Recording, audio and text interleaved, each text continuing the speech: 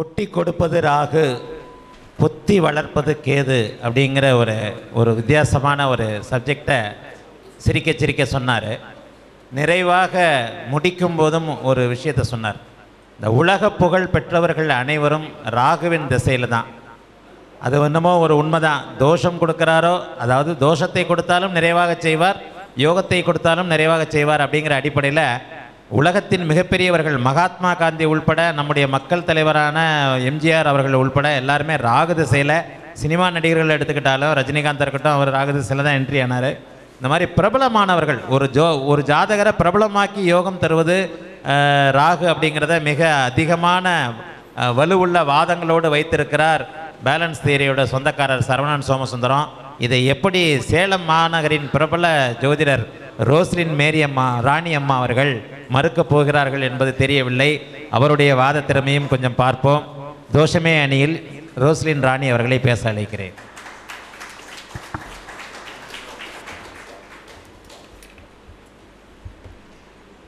ஐயா எனக்கு முதல் முதல்ல கூப்பிட்டு அவார்டு கொடுத்து சிறப்பிச்சவர் நம்ம குருஜி ஐயா நன்றி. இது எனது பேச்சுக்கான முதல் மேடை. பட்டிமன்ற பேச்சுக்கான முதல் மேடை நமது அணித்தலைவர் குருஜி ஐயாவிற்கு மீண்டும் என் சிறந்தார்ந்த நன்றி. உங்கள் அணித்தலைவர் இல்லை நான் நடுவர். என்ன ஒரேடியாக எழுக்கிறீங்க என்ன? அதுதாங்கய்யா. இப்போயே முடிவு தீர்ப்பு எழுதிக்கோங்க. சொல்லிட்டோம்ல. சரி. இரு தரப்பு அணி அறிஞர்களுக்கும் எனது நன்றி. எதிரில் எங்கள் பேச்சை கேட்க ஆவலாக காத்து கொண்டிருக்கும் அனைவருக்கும் எனது முதல் கண் வணக்கம். இந்த முதல்ல நம்ம ஊர் பக்கம்லாம் ஒரு விஷயம் கேட்டிருப்பீங்க பார்த்துருப்பீங்க. பட்டிக்காட்டு பக்கம்லாம் போனீங்கன்னா. குடுகடுப்புக்காரங்க வரும்போது நல்ல காலம் பிறக்குது நல்ல காலம் பிறக்குதுன்னு ஆட்டிகிட்டே வருவாங்க பார்த்துருப்பீங்க. நல்லா தெரியும். ஆனால் அடுத்து சொல்கிற வேறு வார்த்தையெல்லாம் பார்த்தீங்கன்னா தெரியும். இந்த வீட்டில் இந்த நடக்க போகுது அந்த தோசை நடக்க போகுது இந்த தோசை நடக்க போகுதுன்னு. இவர் சொல்கிறாங்க பார்த்தீங்களா? வரும்போது இவங்க தோசைமேனு பேசுகிறவங்கள பார்த்தா சிரிப்பாக வருதுன்னு நம்ம மதிப்பிற்குரிய மந்திராச்சலம் ஐயா சொன்னாங்க. எனக்கு அப்பயே ஞாபகம் வந்து இந்த குடுகுடுப்பு ஞாபகம் தான் வந்துச்சு. சரிங்களா? அந்த மாதிரி இந்த தோஷத்தை நம்ம முன்வைக்க வேண்டிய சூழ்நிலையில் இருக்கிறோம். சொன்னார் ஞானக்காரங்க கேது அது ஞானத்தை வழங்குறாங்க. நல்லது. அப்படின்னு சொல்கிறாங்க தண்ணி வந்துச்சு. சேமிச்சோம் நல்லதுன்னு. எல்லாத்துக்கும் தெரியும். மீன ராசியில் கேது போனப்போ பார்த்துருப்பீங்க. உத்தராஞ்சலில் வெள்ளம் வந்ததை பார்த்துருப்பீங்க. அதே நேரம் ஆன்மீக ஸ்தலம்னு சொல்லக்கூடிய நேபாள் உலகத்தின் இந்து நாடு. வெள்ளத்தில் அழிஞ்சதை பார்த்துருப்பீங்க. கேது ஞானக்காரன் தானே? ஆ கோச்சாரத்தில் வரும்போது பெரு வெள்ளத்தை கொடுத்து பார்த்துருப்பீங்க. எந்த ஒரு அழிவை கொடுத்துருப்பாங்க அப்படிங்கிறது. இந்த ஜாதகத்தில் நிறைய பேர் வந்து உட்காரும்போது அப்பான்னு பெருமூச்சு விட்றாங்கன்னு வச்சுக்கோங்க பாம்பு மாதிரி. பார்த்தோன்னே புரிஞ்சுக்கலாம். அவங்க வீட்டில் நாலஞ்சு பேர்த்துக்கு ராக தேசம் நடக்கலன்னு கேது தேசம் நடக்கும்னு. பிடிச்சிட வேண்டியதான் பாம்பை பலன் சொல்கிறதுக்கு வேறு வழியே கிடையாது. அற்புதமாக அது மட்டுமே தான் வந்துட்டு இருக்கும் அப்படிங்கிறத தெரிஞ்சுக்கணும். இந்த ராகுவை திசை புத்தியில் நடுவில் வச்சுருக்குறாங்க. ஏன்? பாம்பு நடுவில் வந்து ஜீவன மரண போராட்டம் தான். கடிச்சிருமா? கொத்திருமா? ஐயோன்னு ஒன்றா உயிர் இருக்கும்ல ஆயுள் போயிடும் ஜீவக்காரன் குருவுக்கும் ஆயுள்காரன் சனிக்கு நடுவில் வச்சுருக்காங்க. அப்பயே தெரிஞ்சுக்கணும். அது ஒரு பதட்டம் அது ஒரு தோசைங்கிற விஷயத்த. நல்லபடியாக புரிஞ்சுக்கணும். அடுத்து நீங்கள் சொல்ல போனீங்கன்னா பாருங்கள் ரோட்டில் எங்கேயாவது போயிட்டுருப்பீங்க. போலீஸ்காரடியே கை காமிப்பான் பைக்குக்காரன். நல்லா பார்த்துக்கணும். பரவாயில்ல. அவன் ஜாதகத்தில் செவ்வாய் மேலே கேது போயிட்டுருக்குது. கோச்சார கேது போகும்போது கண்டிப்பாலுமே வம்பு வழக்கு சண்டை சச்சரவு வரும். வயிற்றுச்சு இல்லையா? எதை சாப்பிட்டாலும் வயிறு எரியுது வயிறு எரியுது. இந்த செவ்வாய்க்கு ராகுக்கு தொடர்பு இல்லாமல் வரதுக்கு வாய்ப்பே கிடையாது. நீங்கள் சொல்லிட்டு இருக்கிறீங்களே நவீன யுகம் நவீன யுகம்னு சொல்லிட்டேன். கம்யூனிகேஷன் டவரு ஃபோன் எல்லாம். கேன்சர் பாருங்கள் ஒன்றரை வயசு குழந்தைக்கு பிளட் கேன்சருங்கிறான் அந்த ஒன்றரை வயசு குழந்தை என்னையா பாவம் செஞ்சது புண்ணியம் செஞ்சது? ஏன்னா முக்கியமான காரணம் அது. வெளிநாட்டு அந்நிய செலவணின்னு பேசுகிறோம் நம்ம. பாருங்கள் ஃபாரினுக்கு எக்ஸ்போர்ட் இம்போர்ட் பண்ணிவிட்டு நம்ம திருப்பூர் பாருங்கள் எத்தனை தற்கொலைன்னு எல்லாம் இந்த ராகுகேதுவோட விளையாட்டு தான். எத்தனை விவசாயிங்க தற்கொலை பண்ணியிருக்காங்க பாருங்கள் ஏன்? நிறைய பேர் பெரிய லெவலில் மல்டி ஷாப்பிங் சின்ன சிறு தொழில் சிறு வியாபாரம் எல்லாம் நசிஞ்சு போய் தற்கொலை. எல்லாம் இந்த ராகுகேது தான். வேறு எதுவும் கிடையாது. ஒருத்தர் வீட்டில் பாருங்கள் பெண்கள் அழுதுகிட்டு உட்காந்துருப்பாங்க பார்த்தீங்கன்னா குரு மேலே கேது போயிட்டுருக்கும். நகையெல்லாம் அடகு போயிடும் ஏங்க நாளைக்கு கல்யாணம் நீங்கள் மட்டும் போயிட்டு வந்துடுங்க தலையை காமிக்க முடியாது. ஏன்? அந்த அம்மாவுக்கு தலையை காமிக்கிறதுல கஷ்டம் இல்லை. கவரிங் நகை போகிறதுல கஷ்டம். ஏன்னா எல்லாம் அடகு போயிடும் ஒரு அம்மா வருத்தத்தில் அழுதுட்டு தூக்கிட்டு வரும். அப்பா அம்மாங்க ஜாதகத்தை. ஏங்க என் பையனுக்கு எப்போங்க வேலை கிடைக்கும்? இவனோட மோசமாக படிச்சவனுக்கெல்லாம் வேலை கிடைச்சிருச்சு. இன்னொருத்தர் சொல்லுவாங்க நல்லா தான் போயிட்டு இருந்துச்சு வேலை போச்சு அடுத்த வேலை சாப்பாட்டுக்கு வழி இல்லை. நல்லா பாருங்க சனி மேலே கேது போயிட்டுருப்பார். கண்டிப்பாலுமே அப்போ தெரிஞ்சுக்கலாம் நம்ம. அந்த பயிற்சியை வச்சு அதுக்கப்புறம் பாருங்கள் நல்லது நடக்கும்னு சொல்ல முடியும். நிறைய பேர் இந்த மாதிரி துன்பத்தில் இந்த ராகு வேலை படுற கஷ்டம் இவ்வளோ தான் அவ்வளோதான் இல்லைங்க.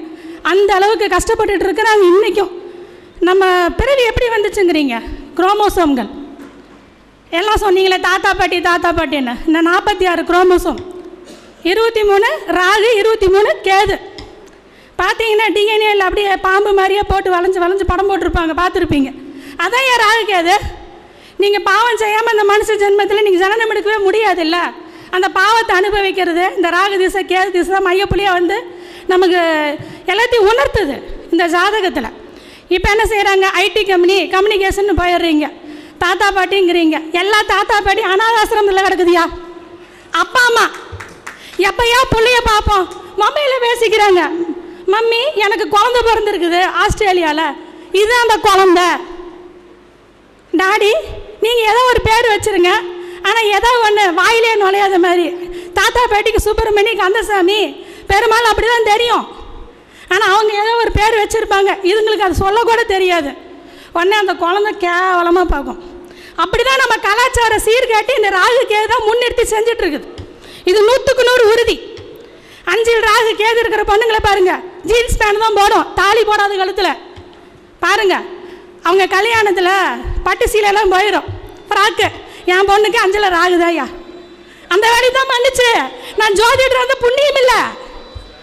ஏன்? தோசம் பண்ணிருச்சு. வேற ஒன்றும் பண்ண முடியாது. கலாச்சார சீர்கேடு. இன்னைக்கு அங்கங்கே கற்பழிப்பு நடக்குது ரயில் கொள்ளை நடக்குது. பணம் கொள்ளை நடக்குது. ராகுங்கிற பேராசக்காரன் உள்ள பூதம் போகுது. ஆசை தூண்டப்படுது. அதுவும் அவங்க பருவ வயசில் ராகு திசை வந்துருச்சுன்னு வச்சுக்கோங்க. அவ்வளோதான் அந்த அப்பா அம்மா படுற பாடு. எங்க ராத்திரி ஆனால் கதவை சாத்திட்டு உள்ள பொண்ணு பெட்ஷீட்டுக்குள்ளே பேசிகிட்டே இருக்குதுங்க. அடுத்த வாரம் ஒருத்தர் அடுத்த இடம் ஒருத்தர் கூட்டிகிட்டு வந்துடும் அப்படின்ற மயமாக இருக்குதுங்க. என்னங்க செய்யலாம்? இந்த கேள்வி சந்திக்க யாரோ ஜோதிடர் இருக்கிறீங்களா சொல்லுங்க நீங்கள் ஏன்? இந்த மொபைல் பண்ணுறது தான் இந்த கலாச்சார சீர்கேடு பண்ணுறது தான் வேற ஒன்றும் இதுக்கு காரணம் கிடையாது. நூற்றுக்கு நூறு அதான் உண்மை. அதே மாதிரி இந்த கால சர்ப்ப தோஷத்துக்கு நம்ம சொல்லலாம். காலம்னா விஷம். காலம்னா விஷம். அதுலேயே தெரிஞ்சுக்கணும் தோஷம்னு ஏன்னா அது ரிவர்ஸில் சுற்றுவார் கிரகங்களில். கோச்சாரில் வரும்போது ஒவ்வொரு கிரகமாக தீண்டிட்டு வருவார். அப்படியே வரிசையாக சந்திரன் இந்த ராகு கேது உயிர் காரகத்தை கண்டிப்பாக முதல்ல குறி வச்சிரும். பொருள் காரகத்தை அவ்வளோ சீக்கிரம் அழிக்காது. உயிர் காரகத்தை கண்டிப்பாக குறி வச்சிரும். சந்திர திசை நடந்து சந்திரன் மேலே ராகு வந்து அந்த தாய் ஸ்தானத்துக்கு ஆறு எட்டு பண்டு குறி திசை நடந்தா தாயோட உயிருக்கு ஆபத்துன்னு சொல்லாமா சொல்லக்கூடாதா? எத்தனை பேர் சொல்லியிருக்கிறீங்க? சொல்லணும் அடிச்சு. அதுதான் உண்மை. கவனமாக இருங்கன்னு சொல்லணும். ஏன்னா தோஷத்தை பண்ண தான் வந்திருக்கிறாருங்கிறது தெரிஞ்சுக்கணும். அதே மாதிரி தான் நேரம் மணி அடிச்சிட்டார் ஐயா. என்ன பண்ண முடியும்? ஏன்னா நேரம் அப்படிங்கிற ஒரு விஷயம் கிளாக் வைஸாக சுற்றிட்டு இருக்குது. ராகுக்கு எது? ஆன்டி கிளாக் வைஸாக சுற்றிட்டு இருப்பாங்க. அதனால தான் இன்னொரு ரெண்டு நிமிஷம் சேர்த்து பேசிட்டு போய் உட்காரலான்னு பார்க்குறேன். வேறு ஒன்றும் கிடையாது. ஏன்னா சொல்கிற பேச்சு கேட்குற ராகுக்கு கேது இல்லை. புரியுது இல்லைங்களா? தோசத்தை கொடுக்குறவன் தான் ராகு கேது.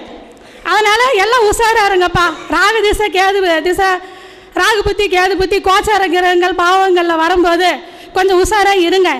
ஏன்னா கண்டிப்பாக உங்களை ஆசையை போட்டு கம்மி தான் வந்துட்டுருக்குறான். நூற்றுக்கு நூறு அதுதான் உண்மை. கொஞ்சம் உஷாரா. எல்லாரும் கவனமாக இறை வழிபாட்டு வழியாக போங்க. அப்படி போனால் கூட பண்ணுறது பண்ணிட்டு தான் இருப்பேன் சிவன் ஆலகால வசத்துன்னு எப்படி மரணப்படுக்கையில் பார்த்தா பராசக்தி தன் காலி தாலியை காப்பாற்றிக்க என்ன பாடுபட்டான்னு உங்களுக்கு அத்தனை பேருக்கும் தெரியும் இந்த கதையை. சரிங்களா? ஏன்னா அப்போ தாலி காக்கா ஒரு பெண்ணு தான் அங்கே வர சரிங்களா? அப்போது திருவாதிரை நல்லதா கெட்டதான்றதை விட அந்த மரண படுக்கையில் படுக்க வச்சுதான் இல்லையா? அதுதான் கேது. அனைவருக்கும் வாய்ப்பளித்த அனைவருக்கும் எனது நன்றி. சேலத்தின் பிரபல ஜோதிடர் ரோஸ்லின் ராணி அவர்கள் இந்த பட்டாசு பொரியும் பாருங்க. மத்தா மத்தாப்பு பொரியும்னு சொல்கிறத விட பட்டாசு படபட படபடன்னு பொரியிற மாதிரி ஆரம்பமே அமர்கலகமாக ஆரம்பித்தாங்க நல்ல காலம் பிறக்குதுன்னு சொல்லி ஆரம்பிக்கிற குடுகுடுப்பக்காரன் நாசமாக போவேன் அப்படின்னு முடிப்பான்ற மாதிரி அப்படி ஆரம்பித்து அதே மாதிரியே முடித்தாங்க ஆக இந்த இந்த தோஷங்கிற வாதத்தை வலுவிளக்க செய்யும் அளவிற்கு அடுத்து யோகத்தின் அணியில் வந்து அவங்க என்ன பண்ண போகிறாங்கன்னு எனக்கே தலை சுற்றுது நான் இது வரைக்கும் மனசில் வச்சிருந்த தீர்ப்பு வேற. ரோஸ்லின் ரோஸ்லின் ராணி அவர்களுடைய பேச்சுக்கு பிறகு இந்த கிமு கிபிக்கு மாதிரி பட்டிமன்றத்தின் போக்கையே திசை திருப்பிய சகோதரி ரோஸ்லின் சார் ராணிக்கு எப்படிப்பட்ட பதிலடியை யோகமே அணியின் ஆர் கோகிலா அவர்கள் கோபிச்செட்டிப்பாளையத்திலிருந்து வர்றாங்க. ஆர் கோகிலா அவர்கள் தங்களுடைய வாத திறமையால் எப்படி பதில் கொடுக்குறாங்கன்றதை பார்ப்போம். குருவே நமக. எனது குரு திருப்பூர் ஜி கே அவர்களின் பாதம் பணிந்தும் இங்கே அவையோர் அவையில் உள்ள பெரியோர்கள் அனைவரையும் அவையோர்கள் அனைவரையும் அடங்கியும் இந்த பட்டிமன்றத்தில் பயணப்படுகிறேன். இந்த எதிரணியர்கள் பேசுறதெல்லாம் ஒரே தமாசா இருந்துச்சுங்க. எனக்கு சிரித்து சிரித்து ஒரே முடியல. என்னமோ வந்து வெள்ளம் வந்துச்சான் இடி விழுந்துச்சான் எல்லாம் கட்டடமெல்லாம் காணாமல் போச்சான் உடனே கதை கதையே சொல்கிறாங்க நம்ம நரநாரன் ஐயா நல்லா படித்தவர் பஞ்சாங்கம் எழுதுறாரு. உங்களுக்கு எல்லாத்துக்கும் தெரியும். இன்னைக்கு ப்ரூவ் பண்ணிட்டு போயிட்டாரு. அவர் என்ன சொன்னார்? அயனாவச குறைபாடு தான் எல்லாத்துக்கும் காரணம்னு சொன்னாரா இல்லையா? எல்லாம் மண்டை மண்டி ஆட்டி கை தட்டுமா இல்லையா? சொல்லுங்க. இந்த பிறவியில் மோட்சம் உங்களுக்கு கிடைக்குது. பிராப்தி ரஸ்துன்னு சொன்னால் யாரெல்லாம் வேண்டான்னு சொல்ல போகிறீங்க கை தூக்குங்க. தைரியம் உள்ளவங்க எல்லாம் கை தூக்குங்க. ஒருத்தருமே இல்லை. எங்க அன்னைக்கு தாங்க வெற்றி. இன்னைக்கே நிர்ணயிக்கப்பட்டுருச்சு. ஏன்னா மோட்சத்துக்கு கொடுக்குற கடவுள் யாருங்க? சிவபெருமானுங்க. அவரோட நட்சத்திரம் யாருங்க? திருவாதிரை. திருவாதிரை நட்சத்திரத்துக்கு என்ன பண்ணுறோம் திருவாதிரை கலையில் மங்கை நோம்பிக்கு பக்கத்து வீட்டுக்காரர் எதுக்கால வீட்டுக்காரர் எல்லாத்தையும் கூப்பிடுமா இல்லையா? அவங்க வீட்டில் பேசாமல் கூட ஒரு வாரம் இருந்திருப்போம் பக்கத்து வீட்டுக்கார அம்மா கூட. எதிர் கொலையாடி சண்டை வந்திருக்கும். ஆனாலும் என்னமோ எங்கள் வீட்டில் நோம்பி கூப்பிடுற வாங்கமோ அப்புறம் இன்னொரு பிட்டு போட்டாங்க மேடம். இந்த மேடமுக்கு எப்பவுமே இந்த எதிரணியில் பெண்களுக்கு பெண்களுக்கு தான் சங்கடம் வரும்னு சொல்லுவாங்க. இருந்தாலும் அது உண்மையாகிட்டே வருது. இப்போ மேடம் சொன்னாங்க அஞ்சில் கேதுன்னா அவங்க தாலியே போட்டுக்க மாட்டாங்கனாங்க நான் அஞ்சில் எனக்கு கேது தாலி போட்டிருக்கிறேன் என்ன பண்ணலாம்? மேடத்தை என்ன பண்ணலாம்? நீங்களே சொல்லுங்கள் உங்கள் முடிவிலே விட்டுறேன் ஐயா கிட்ட முடிவிலே விட்டுறேன் அவங்க அவுட் ஆகிட்டே வர்றாங்க. ஏன்? நாங்கள் மெஜாரிட்டி போயிட்டே இருக்கிறோம். பார்த்துங்க ரொம்ப மேட்ச் ரொம்ப பரபரப்பாக போயிட்டு இருக்குது. அடுத்து நம்ம எக்ஸசிஎம் வந்து போட்டு எல்லாம் வெளுத்து வாங்கினாங்க. ராகு அதை பண்ணுச்சு ராகு இதை பண்ணுச்சுன்னு. ஆனால் இந்த ஏடிஎம்கேங்கிற ஒரு ஸ்தாபனத்தை உருவாக்கின நம்ம எம்ஜிஆர் அவர்களை விட எம்ஜிஆர் எத்தனை ஆண்டுகள் அந்த முதலமைச்சர் பதவியில் இருந்தாருன்னு எடுத்துட்டிங்கன்னா அவர் ரொம்ப கம்மியான ஆண்டுகள் தாங்க. ஆனால் உருவாக்கணும் அவர் தான் உங்களுக்கு எல்லாமே வரலாறு தெரியும். ஆனால் அதை விட ஆறு முறை சிஎம்மாக இருந்து இறந்தவங்க நம்ம எக்ஸசிஎம் அரசியல் எந்த அரசியலில் எந்த பின்புலும் இல்லாமல் ஒரு பெண்மணியாக தனிப்பட்ட வாழ்க்கை முறையும் சரியில்லாமல் யாரும் எந்த சப்போர்ட்டும் இல்லாமல் உற்றார் உறவு சப்போர்ட்டும் இல்லாமல் தன் மனோதிடத்தை மட்டும் கொண்டு வந்தாங்களா இல்லையா? உங்கள் முன்னாடி ஒரு இன்ப பெண்மணியும் வாழ்ந்து காட்டினாங்களா இல்லையா? இங்கே எல்லாரும் ஒத்துக்கிறீங்களா இல்லையா? எத்தனை எதிர் எத்தனை பேர்த்து நடுங்கடுங்க வச்சாங்க? இன்னைக்கு எல்லாரும் இன்னைக்கு இருக்கிற அமைச்சர் எல்லாரும் அவங்க முன்னாடி மண்டி ஓட்டு தவந்து போகிறது எல்லாரும் பார்த்தீங்களா இல்லையா? யூடியூப்ல எல்லாரும் பார்த்துக்கோங்க சரிங்களா? அவங்க மகன் நட்சத்திரம் சிம்ம ராசி மிதுன லக்னம். ஞாபகத்தில் வச்சுக்கோங்க. நான் சிம்ம லக்னம் மிதுன ராசி திருவாதிரை நட்சத்திரம். ஞாபகத்தில் வச்சுக்கோங்க. ஒரு நாளைக்கு ஓட்டு அதான் பார்த்தேன். என்ன தில்லுமுல்லைக்காரன். நிஜமாவே பாருங்க எவ்வளவு கோவம் வந்துருச்சு பாருங்க. இது யாரு? தில்லுமுல்லைக்காரங்கன்னு சொன்ன ஒரு வார்த்தையில இன்னைக்கு வந்து பட்டிமன்றத்தோட போக்கே மாறப்போது அங்க உள்ளத்திலிருந்து அவளும் அப்படியே கொட்டி குமுறுது அப்படியே. என்ன பார்த்தா தில்லுமுல்லைக்காரன் சொன்னேன்ட்டு. இல்ல ஐயா நரநாராயணையே மெத்த படிச்ச மேதாவின்னு ஒத்துக்கிற நம்ம? நான் சொல்லலைங்கய்யா இது சத்தியமா நான் சொல்லல. ஐயா சொல்றாரு நரநாய பஞ்சாங்கம் ரொம்ப வருஷம் வந்துட்டு இருக்குது. நீங்க அவர் மேதாவின்னு ஒத்துக்கிட்டீங்க. அவர் சொல்றாரு துவாரகம் முழுகுச்சு குமாரிக்கண்ட முழுகுச்சு எல்லாத்துக்கு காரணம் அயனாமச குறைபாடு. இது மறுபடியும் இருபத்தி ஏழு வருஷம் கழிச்சு இருபத்தி ஏழு டிகிரிக்கு ஜீரோ டிகிரிலேருந்து அயனாமச மாறுபாடாகும் பூமி மறுபடியும் ரெண்டு நிலையாகும் சரிப்படுத்துன்னு சொன்னாங்க. நம்புனீங்களா இல்லையா? எல்லாரும் கை இல்லையா? அதை அடுத்து பார்த்தீங்கன்னா இந்த ராகுகதி இல்லாத காலத்தில் மகாபாரதம் ராமாயண காலத்தில் ராகுகதி போடல ராமர் ஜாதத்துலலாம். அப்போ ம- அண்ணர்களுக்குள்ள சண்டையே நடக்கலையா? இல்லை யாருக்கு போரே வரலையா? யார் யாரையும் கொல்லலையா? யுத்த கண்டமே அதுதானுங்க. யுத்தம் செய்- யுத்தம் பண்ணி உள்ள அடுத்த அடுத்த எதிரி அடுத்த நாட்டு மன்னனை கொள்றதானுங்க யுத்த தர்மம். அதுக்கு தந்திரம் பண்ணாரு இல்லையா சகுனி? இதெல்லாம் படிச்சுமா பாடமா படிச்சு நீ குழந்தைகள் குழந்தைகளுக்கு சொல்லி கொடுத்துட்டு இருக்குமா இல்லையா? என்னமோ இவங்க வந்து இவ ராகதம் வந்துச்சா? எல்லாத்தையும் பண்ணிச்சு. ராகு வந்து கிருமி அனுப்பிச்சிச்சாங்க அதுக்கு முன்னாடி நோயே வரலையா அவங்களுக்கெல்லாம்? அதனால புதுசு புதுசாக சொல்கிறாங்க இன்னும் ஒரு விஷயம் சொல்கிறேன் கேளுங்க. ராகுனாவே கலத்துற தோசம் ராகுனாவே புத்திர தோசங்கிறாங்களே ஏழில் ராகு இருக்கிறது தோசமா? இல்லை ஏழில் குரு இருக்கிறது தோசமா? முடிவு உங்கள் கையில். ஏழில் குரு இருக்கிற எத்தனை பேத்துக்கு நல்லபடியாக கல்யாணம் ஆகுது? ஏழில் இருக்கிற ராகு ஒரு கல்யாணம் பிள்ளைக்கு ரெண்டு கல்யாணமாக நடக்குதுங்க.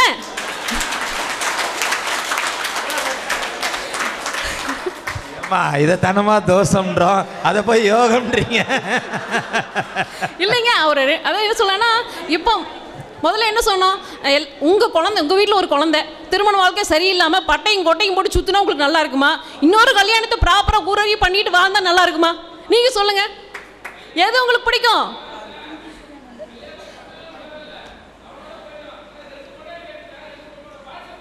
ரெண்டு பொண்ணுக்கு வாழ்க்கை கொடுக்குறாரு பாசிட்டிவாக திங்க் பண்ணுங்க. ஆமா. அதாவது எத்தனை பொண்ணுங்களுக்கு நீ கல்யாணம் ஆகாம இருக்குதுன்னு தெரியுமா உங்களுக்கு? எத்தனை பொண்ணு கல்யாணம் ஆகாம இருக்குன்னு தெரியுமா உங்களுக்கு? அடுத்து இன்னைக்கு எடுத்துக்கிட்டிங்கன்னா இன்னொரு விஷயம். அஞ்சுல குரு ராகு இருந்தால் புத்திரதோஷம் புத்திரதோஷங்கிறோம். அஞ்சுல ராகு இருக்கிறவங்களுக்கு ஒன்று பரிகாரத்து மூலமாக குழந்தை பிறந்துருது இல்லை வழிபாட்டு மூலமாக குழந்தை வருது வேண்டாம் டாக்டர்கிட்ட போயாவது குழந்தை பிறந்துருதுங்க. டெஸ்ட் பேபிக்கு போயாவது குழந்தை பெற்றுறாங்க ஆனால் அஞ்சலு குரு இருக்கிற நபரை நினச்சி பாருங்க. இன்னொருத்த குழந்தை எட்டு தத்து குழந்தைய காமிக்கிறாரு. இல்லை இன்னொருத்தரோட குழந்தைக்கு அப்பாவா ஆகிறாரு ரெடிமேட் அப்பா ஆகிறாரு ஆமாவா இல்லையா? மெச்ச படித்த மேதாவி பெருமக்கள் எல்லாத்துக்கிட்டையும் முடிவு விட்டுறேன். நீங்க சொல்லுங்க. ஐயா முடிவு மாத்திக்கிட்டாரு. நீங்க என்ன முடிவு இருக்கிறீங்க சரிங்களா? அதனால ராகு தான் இது பண்ணுச்சு. அடுத்தது வெற்றி பெற்ற எல்லாருக்குமே சொல்கிறாங்க இன்னொன்று என்ன சொன்னாங்கன்னா ஸ்போர்ட்ஸில் இருக்கிற எல்லாரும் அரசியலில் இருக்கிற எல்லாரும் இப்போ நம்ம நேரு காலத்தில் தான் காங்கிரஸ் உருவாச்சுங்கிறது உங்களுக்கு எல்லாத்துக்குமே தெரியும். ஆனால் நேரு எத்தனை ஆண்டுகள் பிரதமராக இருந்திருப்பார்? ஆனால் அதை தாண்டின இந்திரா காந்தியோட ஜாதத்தில் கடகலக்கணம் ஆறில் ராகுங்க. ஆனால் அவங்களோட நிர்வாக திறமைக்கு இன்றைக்கி வரைக்கும் நம்ம சாட்சி சொல்கிறோமா இல்லையா? இரும்பு பெண்மணியாக இருந்து வாழ்ந்து காட்டிட்டு போனாங்களா இல்லையா? அவங்களுக்கு அப்புறம் அவங்க தலைமுறையில் யாராவது அந்த மாதிரி வாழ்ந்து காட்ட முடிஞ்சுதுங்களா? இன்னைக்கு வரைக்கும் முடிஞ்சுதா? முடியவே இல்லையே. ஏன் அந்த நிர்வாக திறமைக்கு குறைய உங்களால் சொல்ல முடியலையே? ஸோ அது மாதிரி ராகு எல்லா காலத்துலையும் நல்லது தான் பண்ணுதுங்க. ஏன்னா பூமியை சமப்படுத்துகிற வேலையை ராகு தான் பண்ணிட்டு இருக்குதுங்க. ஒரு பக்கம் எல்லாரும் சாமியாராவே நல்லது மட்டும் பேசிட்டு அது சப்புன்னு இருக்குமா? நல்லா இருக்குமா சொல்லுங்க.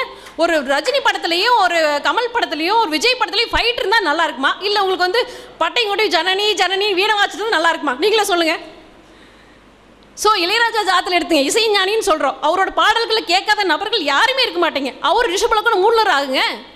நம்ம ஜெயலலிதா அம்மா சொல்கிறீங்க எல்லா என்ன சொல்கிறாங்க எல்லா எதிர்ப்புகளையும் நம்ம குடும்பத்துக்குள்ளேயே நிர்வாகம் பண்ண முடியாமல் சமாளி தடுமாறுறோம் நிறைய நேரங்களில். ஆனால் அவங்க ஒரு நாட்டையே ஒரு ஒரு இந்திய நாட்டை தமிழ்நாட்டையே வந்து நிர்வாகம் பண்ணி அத்தனை ஆண்களுக்கு முன்னாடி ஜெயிச்சு காட்டியிருக்காங்க. இந்த சின்னத்தையே வந்து கடைசியில் வாங்கி சேர்த்திருக்காங்க அப்படின்னா எவ்வளோ பார்ட்டிஸ் கடந்து வந்திருப்பாங்க. அப்போ அவங்களுக்கு ஜெயிச்சாங்கன்னா அவங்க பதினொன்றில் ராகு. ஏன் அந்த ராங்க அந்த வேலையை செய்யல? அவங்கள பிரச்சனை பண்ணது குரு குரு திசையில் தான் அவங்களுக்கு பிரச்சனை அதிகமாக நடந்தது. ஏன்னா எல்லா விஷயம் எல்லா மனுஷங்களுக்கும் மனசு பிறவின்னு ஒன்று இருக்கு நான் பிறவி எடுத்துட்டு பிறந்துட்டோம் அப்படின்னா கண்டிப்பாக இறப்புன்னு ஒன்று உண்டு. அது அவங்க கர்மா மூலமாக நடக்குது. ஆனால் நடக்கிறது கலியாலங்கிறது எல்லாரும் மறந்தே மறந்துட்டீங்க. உங்களுக்கு சௌகரியமா? எதிரணி தான் மறந்துட்டாங்க? நீங்களும் மறந்துடுவீங்களா? எல்லாம் ஓய் உட்காந்து ஒவ்வொரு பாட்டாக விரிஞ்சு போகிறத பார்த்து அப்படியே ஆன்னு பார்க்குறோமே. அதெல்லாம் ராகோட சா காரணத்தும் இல்லாமல் நடந்திருக்குமா? சொல்லுங்கள் நம்ம நரநாராயண ஒருத்தர் ஐயா ஒரு வார்த்தையை சொன்னார். ஒரு யா ரொம்ப வெயிட்டான ஒரு யானையை தூக்கி அதோட வெயிட்டான ஒரு லாரியில் ஏற்றுனா அதை தாங்கிறது லாரியா யானையா டயரா? சொல்லுங்க. அந்த டயருக்கு தான் எலுமிச்சு மரத்தை வச்சு வழிபாடு விடுறோம் எலுமிச்சு மரத்தை யாருக்கு தெய்வம் போடுறோம்? ராகுங்க ஸோ எல்லா இடத்துலையும் நம்மளை காப்பாத்துறது ராகுதாங்க. அவரை நினச்சி தீபம் போட்டிங்கன்னா எல்லாரும் நல்லா இருப்போம். எல்லாம் நல்லா இருப்போம் நல்லா இருப்போம் எல்லாரும் நல்லா இருப்போம். வாய்ப்புக்கு நன்றி கொடு வாய்ப்பு கொடுத்த நான். மதுரை சமையாக்கு நன்றி. பண்டைய காலத்தில் ஒரு போர் முறை இருக்கும். அதாவது முன்னாடி போகிற ஒரு மூணு பேரை சொத்தையை அனுப்பிச்சிட்டு இவ்வளவுதான் இந்த இந்த நாட்டு படை இவ்வளோதான்ற போது பின்னாடி பின் அணி வந்து மூர்க்கத்தனமான ஒரு தாக்குதலை தாக்கி எதிரணியை தோத்து போக வச்சிரும். இந்த எதிரணி தலைவர் மகரிஷி மந்திராச்சலம் கடைசி அணியாக கோபிச்செட்டிப்பாளையம் ஆர் கோகிலாவை ஏன் தேர்ந்தெடுத்தாங்கன்றது அவங்க பேசி முடிச்சவொன்னு தான் தெரியுது. அதை விட முக்கியமாக மருத்துவ ஜோதிடத்தின் தந்தைன்னு நான் மனசார சொல்லுவேன். மருத்துவ ஜோதிடத்தில் ஒரு மைல் கல்லை கடந்த நம்முடைய மேதை திருப்பூர் ஐயா ஜி கே கோபாலகிருஷ்ணன் அவர்களுடைய ஒரு சிஷ்யன்றதை ரொம்ப பிரமாதமாக நிரூபித்தாங்க பட்டிமன்றத்தையும் தாண்டி இன்னொரு கல பலத்த கரகோஷம் அவங்களுக்கு தாராளமாக கொடுக்கலாம். அடுத்து எனது இனிய நண்பரும் இந்த தாக்குதலெல்லாம் எப்படி வந்து கையில் என்ன கேடயம் கவசம் ஏதாவது வச்சிருக்கிறாரான்னு தெரியல. இல்லை வேற ஏதாவது நல்ல சுருள் கத்தி வச்சிருக்கிறாரான்னு தெரியல. இதை எப்படி சமாளிக்க போறார் அப்படின்று என்னுடைய இனிய நண்பர் நந்தா துரைசாமி அவர்களை அழைக்கிறேன். அனைவருக்கும் இனிய நாள் வணக்கம். மகரிஷி ஐயாவின் நினைவை அருள் கூர்ந்து அவரை நினைத்து அவரின் அருளால் இன்று இந்த விழா சிறப்பாக நடைபெற்று கொண்டிருக்கிறது. அதற்கு முழு முயற்சி எடுத்துக்கொண்டு இருந்த நமது நண்பர் மந்தராச்சலம் ஐயா அவர்களுக்கும் இறுதியில் இந்த பட்டிமன்றத்திற்கு எங்கள் அணிக்கு வெற்றி வாய்ப்பை வழங்க இருக்கும் எனது அன்பிற்கும் பாசத்திற்கும் உரிய ஐயா ஆதித்ய குருஜி ஐயா அவர்களுக்கும் இங்கு உள்ள எதிர்பார்ப்பு தப்பா போயிடலாம் உஷாரு. அதாவது நம்ம நல்லதா நினைக்கிறது கெட்டதா போயிடுவது ஜாக்கிரதை. இங்கு உள்ள எனது அணி நண்பர்களுக்கும் எதிரணி நண்பர்களுக்கும் இங்கு இந்த பேச்சை ஆவலோடு இந்த இறுதி முடிவை கேட்க காத்து கொண்டு இருக்கும் சான்றோர்கள் அனைவருக்கும் எனது முதல் வணக்கத்தை தெரிவித்துக் கொள்கின்றேன். இங்கு நமக்கு சதவிகிதம் தான் நமது ஐயா ஆதித்ய குருஜி ஐயா சொல்லும் பொழுது மூன்று ஸ்தானங்கள் நல்ல பலனை கொடுக்கும் மீதி ஸ்தானங்கள் பலனை குறைச்சிரும்ட்டார். அப்போ மூணு பெருசாக அஞ்சு. அவர் சொன்ன கணக்கில் அஞ்சு போவோம். அஞ்சு பெருசா ஏழு பெருசா. நீங்கள் முடிவு பண்ணிக்கிங்க. அடுத்தது எதிரணியிலேருந்து வந்து பேசினவங்க சொன்னாங்க முப்பத்தி மூணு பர்சன்ட் நன்மை செய்யும் அப்படின்னாங்க. மீதி அப்போ அறுபத்தி ஏழு பர்சன்ட் என்னங்க செய்யும்? அப்போ முப்பத்தி மூணு பெருசாக அறுபத்தி ஏழு பெருசாங்கிறத நீங்கள் முடிவு பண்ணிக்கிங்க. அடுத்தபடியாக நீங்கள் ஜாதகத்தை எடுத்த உடனே இந்த ராகு கேதுக்கள் எந்த ஸ்தானத்தில் உள்ளதோ அந்த ஸ்தானத்தினுடைய ஆதிபத்திய பலனை தடை பண்ணிடும் அப்படின்னு தான் நீங்கள் பலனே சொல்கிறீங்க அப்போ ஒரு ஆதிபத்திய பலனை தடை செய்தால் நன்மையா தீமையாங்கிறத நீங்களே முடிவு செய்து கொள்ளுங்கள். அதே போல் இந்த ராகு கேதுக்கள் எந்த கிரகத்தோடு சேர்ந்தாலும் அந்த கிரகத்தினுடைய காரகத்துவத்தை கெடுத்துவிடும். இது நன்மையா தீமையாங்கிறத முடிவு செய்து கொள்ளுங்கள். உதாரணத்துக்கு சூரியனுடன் ராகு கேதுக்கள் சேர்ந்து விட்டால் அங்கே தந்தையோடு ஒற்றுமை குறைந்துவிடும் அல்லது அவருக்கு பாதிப்பையே ஏற்படுத்தும். இது நன்மையா தீமையா? சந்திரனோடு ராகு கேதுக்கள் சேர்ந்து விட்டால் மனநிலை பாதிப்பும் ஏற்படுகிறது. தாயோட கருத்து வேறுபாடும் ஏற்படுகிறது. இது நன்மையா தீமையா? செவ்வாயுடன் ராகு கேதுக்கள் சேர்ந்து விட்டால் சகோதர உறவு கெட்டு போய் விடுகிறது. அந்த செவ்வாயினுடைய பலம் குறைந்து விடுகிறது. இது நன்மையா தீமையா? சுக்கிரனோடு ராகு கேதுக்கள் சேர்ந்து விட்டால் மனைவிக்கு ஆப்ரேஷன் வைத்திய செலவை கொடுக்கிறது அல்லது மனைவி விட்டு பிரிந்து வேறொருடன் செல்ல தூண்டுகிறது. இது நன்மையா தீமையா? குருவோடு ராகு கேதுக்கள் சேரும் பொழுது புத்திர பா தடையை ஏற்படுத்துகிறது. அது நன்மையா தீமையா? சனி கிரகத்தோடு இந்த ராகு கேதுக்கள் சேரும் பொழுது தொழிலில் தடைகளையும் பாதிப்புகளையும் ஏற்படுத்துகிறது. இது நன்மையா தீமையாங்கிறத நீங்கள் முடிவு பண்ணணும். இதை நமது தலைவர் அவர்கள் சரியான முடிவை கொடுக்கணுங்கிறத சொல்லி ஒரு சின்ன சின்ன உதாரணத்தை மட்டும் கொடுக்கின்றேன். கும்ப லக்னம் லக்னத்தில் குரு கேது. இந்த ஜாதகனுக்கு பதினெட்டு வயது தான். கேது திசை நடப்பில்.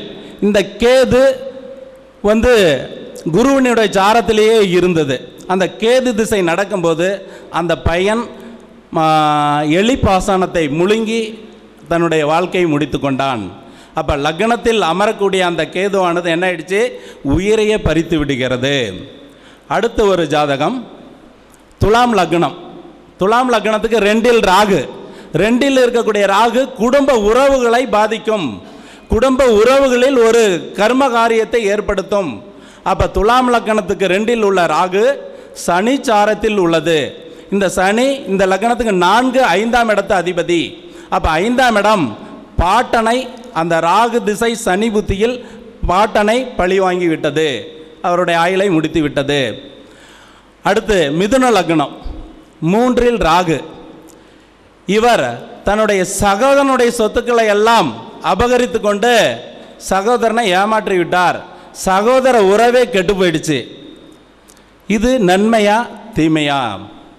அடுத்து எந்த லக்னமாக இருந்தாலும் சரி நான்கில் ராகுவோ கேதுவோ அமர்ந்து விட்டால் அவர்களுக்கு தென்மேற்கில் வாசல் அமையும். நீங்கள் நல்லா பார்த்துங்க ஒரு ஜாதகத்தில் நான்கில் ராகு கேது அமைந்து விட்டால் ராகுவே இருந்து விட்டால் தென்மேற்கு பாதிக்கப்பட்ட வீட்டில் தான் அவங்க குடியிருப்பாங்க கட்டாயம். அப்போ தென்மேற்கு கெட்டுவிட்டால் உலக இன்பங்களை ஆசாபாசங்களை அனுபவிக்க முடியாமல் வாழ்க்கை ஒன்றுமில்லாமல் போய்விடும். அப்போ நாலாம் இடம் சுகஸ்தானம். சுகஸ்தானம் வண்டி வாகனம் வீடு இது. அப்போ இது கெட்டு போயிடுச்சுன்னா நம்ம வாழ்கிறதே அர்த்தமில்லாமல் போய்விடும். ஐந்தாம் இடம் கௌரவம் அந்தஸ்து புகழ் புத்திரம் பூர்வ புண்ணியம்னு சொல்லக்கூடிய இடம். இதில் ராகு கேதுக்கள் உட்காந்து விட்டால் ஒவ்வொரு பாவகத்துக்கும் உள்ள ஆதிபத்திய பலன்களில் ஏதேனும் ஒரு பாவத்தை கட்டாயம் இது தடை செய்து விடுகிறது. அதை நல்லா நம்ம கவனிச்சுக்கணும். ஐந்தில் உள்ள ராகு கேது என்ன பண்ணும்? கௌரவம் அந்தஸ்தை குறைக்கும். பூர்வ புண்ணிய சொத்துக்களை பாதிக்கும். பாட்டன் பாட்டியை பாதிக்கும். புத்திரத்தை தடை பண்ணும். இதில் ஏதாவது ஒன்றை பண்ணிடும். இது நன்மையா? ஆறில் இப்போ உதாரணத்துக்கு மேஷ லக்னத்துக்கு ஆறில் ராகு. ஆக அபரிதமாக இருக்குமே நம்ம சொல்லுவோம். ஆனால் ஆறில் ராகு இருந்து அந்த ராகு சந்திரன் சாரத்தில் திசை நடத்தும் பொழுது தன்னுடைய தாய்க்கு ஆப்ரேஷன் நடந்தது. அந்த ஜாதகனுக்கு நர்வஸ் சம்பந்தப்பட்ட பிரச்சனை ஏற்பட்டது. மனம் சம்பந்தப்பட்ட பாதிப்புகள் ஏற்பட்டது. அப்போ ஆறில் இருந்த ராகு என்ன செய்தது? அங்கே நன்மையை செய்ததா? தீமையை செய்ததா? ஏழில் ராகு இருந்தால் நம்ம சேலத்து சிங்கம் அவர்கள் பேசினார்கள் ஏழில் ராகு இரண்டு தாரத்தை ஏற்படுத்தி விடுகிறதுன்னு. ஒரு குடும்பத்தில் ஒரு நம்ம இந்திய கலாச்சாரம் என்ன சொல்லுது? ஒருவனுக்கு ஒருத்தி. இதுதான் நம்ம இந்திய கலாச்சாரம். இதை மீறி ரெண்டு தாரம் போய்விட்டால் நான் ஜோதிட அரசில் இருதாரம் யோகமாக சாபமான்னு ஒரு கட்டுரை எழுதியிருந்தேன். எப்போ யோகம் எப்போ சாபம்னு. நம்மளுடைய குடும்ப வாழ்க்கை நிம்மதி கெட்டு போய்விட்டால் அது நன்மையா தீமையா? நீங்களே முடிவு செய்து கொள்ளுங்கள். அடுத்து எட்டில் ராகுவோ கேதுவோ இருந்தால் ஆயுள் ஸ்தானம். அப்போ ஒரு ஆயுள் முடிப்பதற்கு இந்த ராகு கேதுகள் காரணமாக உள்ளது. அந்த ஒவ்வொரு லக்னத்துக்கும் மாரகாதிபதியினுடைய சாரத்தில் இந்த ராகு கேதுக்கள் இருந்ததுன்னா மாரகத்தை உண்டு பண்ணக்கூடிய அளவுக்கு கஷ்டங்களை கொடுத்து பாதிப்பை ஏற்படுத்தி விடுகிறது. ஒரு ரிஷப லக்னத்துக்கு எட்டில் கேது இருந்து அந்த கேது மூலம் சாரத்திலேயே திசை நடத்தினது. அவருடைய சொத்துக்கள் பல கோடி ரூபா சொத்துக்களை கம்ப்ளீட் அழித்து விட்டது. ஒன்று ஆயில காலி பண்ணியிருக்கணும் இல்லைன்னா அவன் வேற எதுவுமே சொத்து இல்லாமல் யாரும் மதிக்காத அளவுக்கு விராலாக கொண்டுட்டு போய் விட்டுருணும் அப்போ எட்டில் உள்ள கேது இந்த வேலையை செய்துள்ளது. அடுத்து ஒன்பதாம் இடம். இன்றைக்கி காலபுருஷ தத்துவப்படி ஒன்பதாம் இடத்துல தான் கேது வந்திருக்கு. இன்றைக்கி என்னென்ன பண்ணிகிட்டு இருக்குதுங்கிறது நமக்கு தெரியும். ஒன்பதாம் இடம் தந்தை ஸ்தானத்தை பாதிக்கும் தந்தை வழி சொத்துக்களை பாதிக்கும். இந்த ஒன்பதாம் இடம் கோயில் குளம் ஆன்மீகம் சம்பந்தப்பட்ட பிரச்சனைகளை உண்டு பண்ணும். அப்போ இந்த ஒன்பதாம் இடத்தில் இருக்கக்கூடிய ராகு கேது நன்மையை செய்வது இல்லை. பத்தாம் இடம் தொழில் ஸ்தானம். இந்த தொழில் ஸ்தானத்தில் இருந்து இந்த ராகு கேதுகள் ஆறு எட்டு பன்னெண்டாம் அதிபதியோடைய சாரத்தில் இருந்துட்டா தொழிலே சமயத்துக்கு அமையாமல் தடுமாறி கொண்டு இருக்கின்றார்கள் நிறைய ஜாதகத்தில் பார்த்துருக்குறோம். பதினொன்றாம் இடம் பதினொன்றில் இருக்கக்கூடிய ராகு கேதுக்கள் அந்த குழந்தையினுடைய தாய்வழி பாட்டன் பாட்டியை பாதிக்கிறது. அல்லது அந்த ஜாதகருக்கு பதினொன்றாம் இடம்ங்கிறது இளைய தாரம். இளைய தாரத்தோடு தொடர்பு ஏற்படுத்தி குடும்பத்தில் குழப்பத்தை உண்டு பண்ணுகிறது. அடுத்து பன்னெண்டு பன்னிரெண்டாம் இடம். பன்னிரெண்டில் ராகு கேதுக்கள் இருந்த அயன சயன போகமே இல்லாமல் அல்லல் பட்டு வாழ்க்கை நிம்மதி இல்லாமல் வாழுகின்றார்கள். ஆக கிரகங்கள் எல்லா கிரகமுமே நன்மை தீமைகளை கலந்து செய்கின்றது. இதில் நமக்கு பட்டிமன்றத்தினுடைய தலைப்பு குறைவா அதிகமா என்பதே.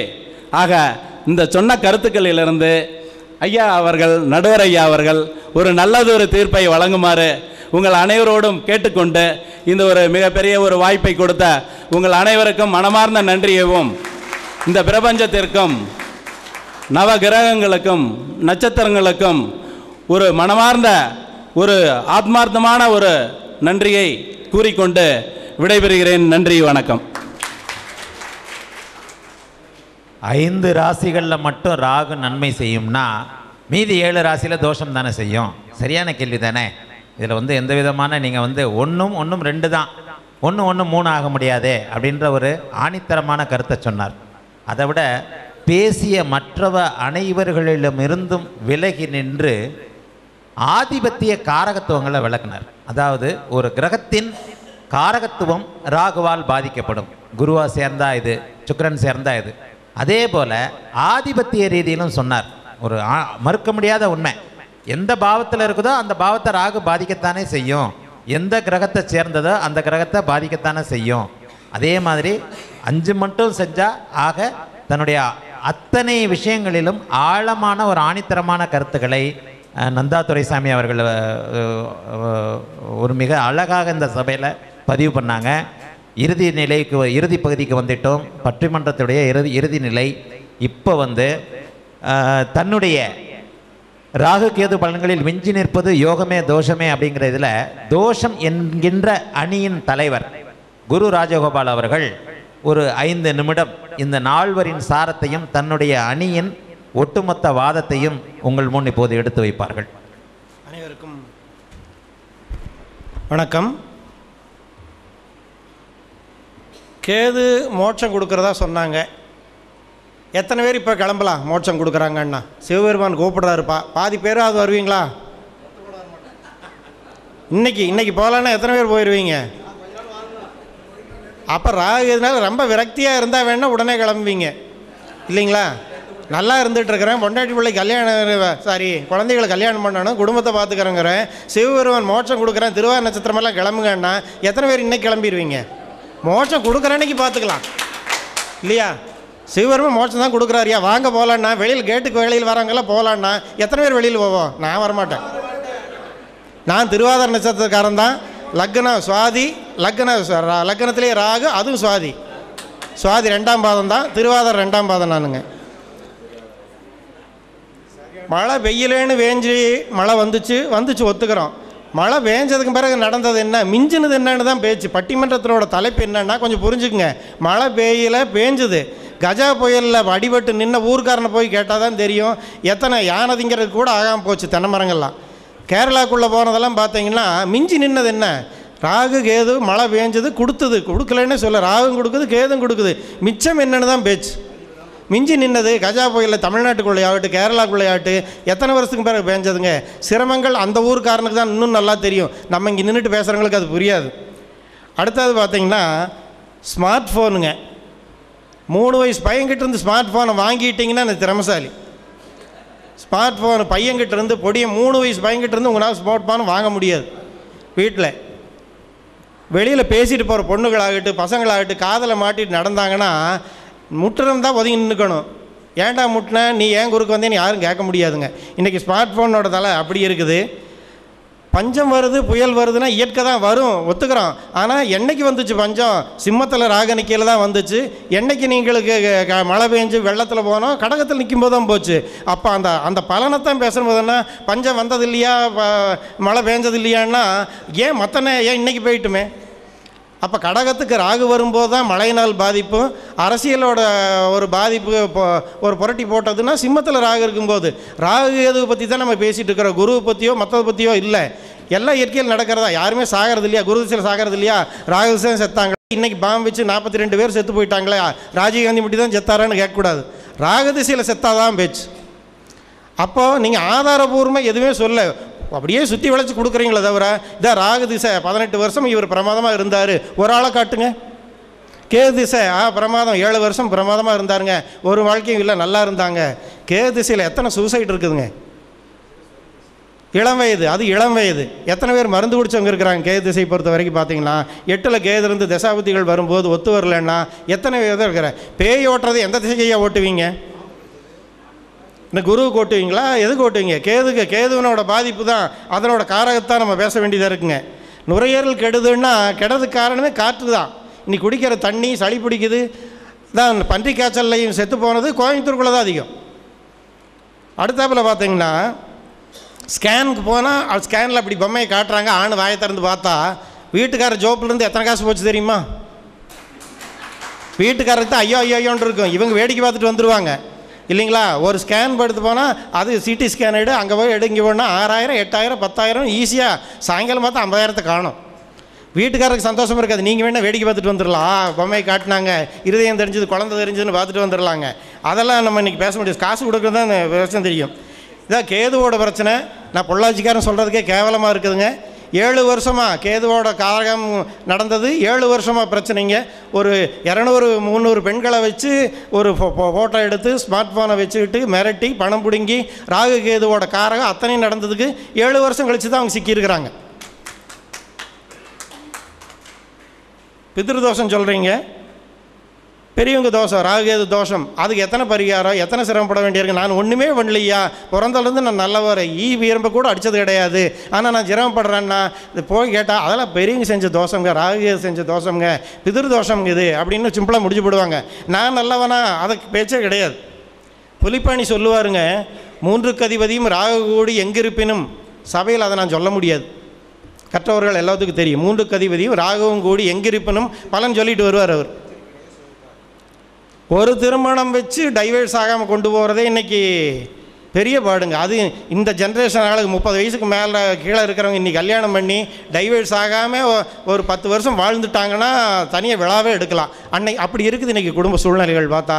ரெண்டு பேர் வேலைக்கு போகிறாங்க ரெண்டு பேர் சம்பாதிக்கிறாங்கன்னா இன்றைக்கி டைவர்ஸுங்கிறது ஒரு என்ன சொல்லுவோன்னு சொன்னோம்னா ஹோட்டலில் சாப்பிட்டு வந்த மாதிரி ஆகிப்போச்சுங்க அந்த மாதிரி தான் இருந்துகிட்டு இருக்கக்கூடிய நிலையாக இருந்துட்டு போகுதுங்க. வெளிநாட்டு தொடர்பு நல்லா செய்யுதுன்னு சொல்கிறீங்க திருப்பூரில் இருக்கிற கோடீஸ்வரர்கள் எத்தனை பேர் சூசைட் பண்ணிக்கிட்டாங்க எத்தனை பேர் ஊருட்டு சொல்லாமல் கொள்ளாமல் ஓடுறாங்கன்னு திருப்பூர் வாசிகளுக்கு ரொம்ப நல்லா தெரியும். வெளிநாட்டு தொடர்புங்கிறீங்க வெளிநாட்டு கொடுத்து போட்டு இங்கே கடங்காரனாகி போனவங்க எத்தனை பேர் இருக்கிறாங்க? கேன்சரும் சொரியாசிஸும் படுத்துகிற பாடலை எடுத்தீங்கன்னா ராகுகேது சம்மந்தப்பட்டதான் ஜென்மத்துக்கும் போகாது. எப்பேற்பட்ட மன உறுதி படைச்சவனையும் கேன்சர் ஆட்டி போடும் என்னதான் நீங்கள் மருந்து இருக்குது காப்பாற்றி போடலாம்னு சொன்னாலும் அவனோட மன உளைச்சல் இருக்குது பார்த்தீங்களா அதை காப்பாற்றவே முடியாது. சொரியாசிஸ் வந்தவனுக்கு தான் சொரியனோட அருமை என்னன்னு தெரியும். சொரிஞ்ச பிறகு எங்கே வலிக்குதுங்கிறது அவங்களுக்கு தான் தெரியுங்க அதனால் நீங்கள் அதே மாதிரி தாத்தா பாட்டி சொல்கிறீங்க எந்த வீட்டில் சாமி தாத்தா பாட்டி இருக்குது? ஏன் கல்டு என்ன ஓரமாக உட்கார் வாயை திறக்காத. சாப்பாட்டுக்கிடாது அதுக்கு வேணால் வாயை திறக்கலாம். எந்த கல்டு சொல்லி என்றைக்கு நீங்கள் எந்த தாத்தா பாட்டி சொல்லி இன்றைக்கி வீட்டுக்குள்ளே காரியம் நடந்துட்டு இருக்கு வீட்டில் வச்சுருந்தாலே இன்றைக்கி பெரிய பாடு. அப்பா அம்மாவே முதியோர் இல்லத்துக்கு போகும்போது தாத்தா பாட்டி எங்கே வச்சுக்கிறது? அந்த ராகு கேதுகள் வீட்டுக்குள்ளே இருந்திருந்தால் அந்த சின்ன வயசு குழந்தைகளும் இன்றைக்கி இத்தனை சிரமப்படாது. அந்த ராககேதுகளை கொண்டு போய் நம்ம எங்கே தெருவில் விட்டு போட்டு இன்றைக்கி பிதிர்தோஷத்துக்கு பரிகாரம் பண்ணுறோம் அதுக்கு பரிகாரம் மதிக்க மாட்டோம்னு அலைஞ்சிட்டு காசை நம்ம செலவு பண்ணிகிட்டு இருக்கிறோமோ தவிர அது ரெண்டு வீட்டுக்குள்ள உட்காந்துருந்தா குடும்ப டைவர்ஸும் வராதுங்க. குழந்தை குட்டிக்கு தப்பான வழிக்கும் போகாது. அது கண்கொத்தி பாம்பா வீட்டில் உட்காந்து நம்மளை பார்த்துட்டு இருக்கு. அந்த ராகுகேதுவை தூக்கி நம்ம இன்றைக்கி வெளியில் ஓட்டு போட்டு தான் இத்தனை சிரமப்பட்டுட்டு இருக்கிறோங்கிறது என்னுடைய வாதம். வாய்ப்புக்கு மிக நன்றி.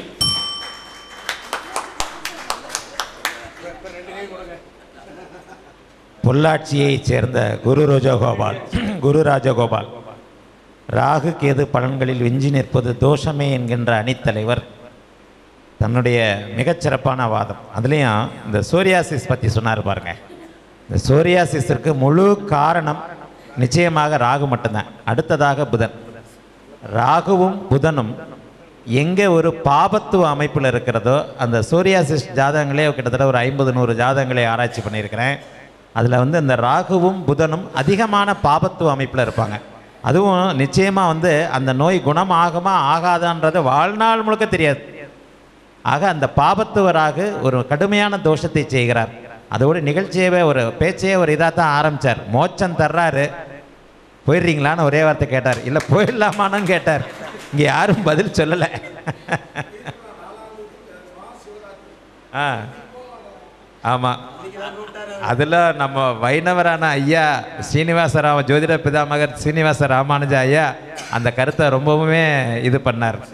ஆக மோட்சம் தருவதாக இருந்தாலும் கேதுவே தருவதாக இருந்தாலும் இன்றைக்கே கிளம்புன்னா ஒருத்தர் கூட பெட்டி படிக்க எடுக்க மாட்டோம். தொண்ணூறு வயசு தொண்ணூத்தஞ்சு வயசு தான்.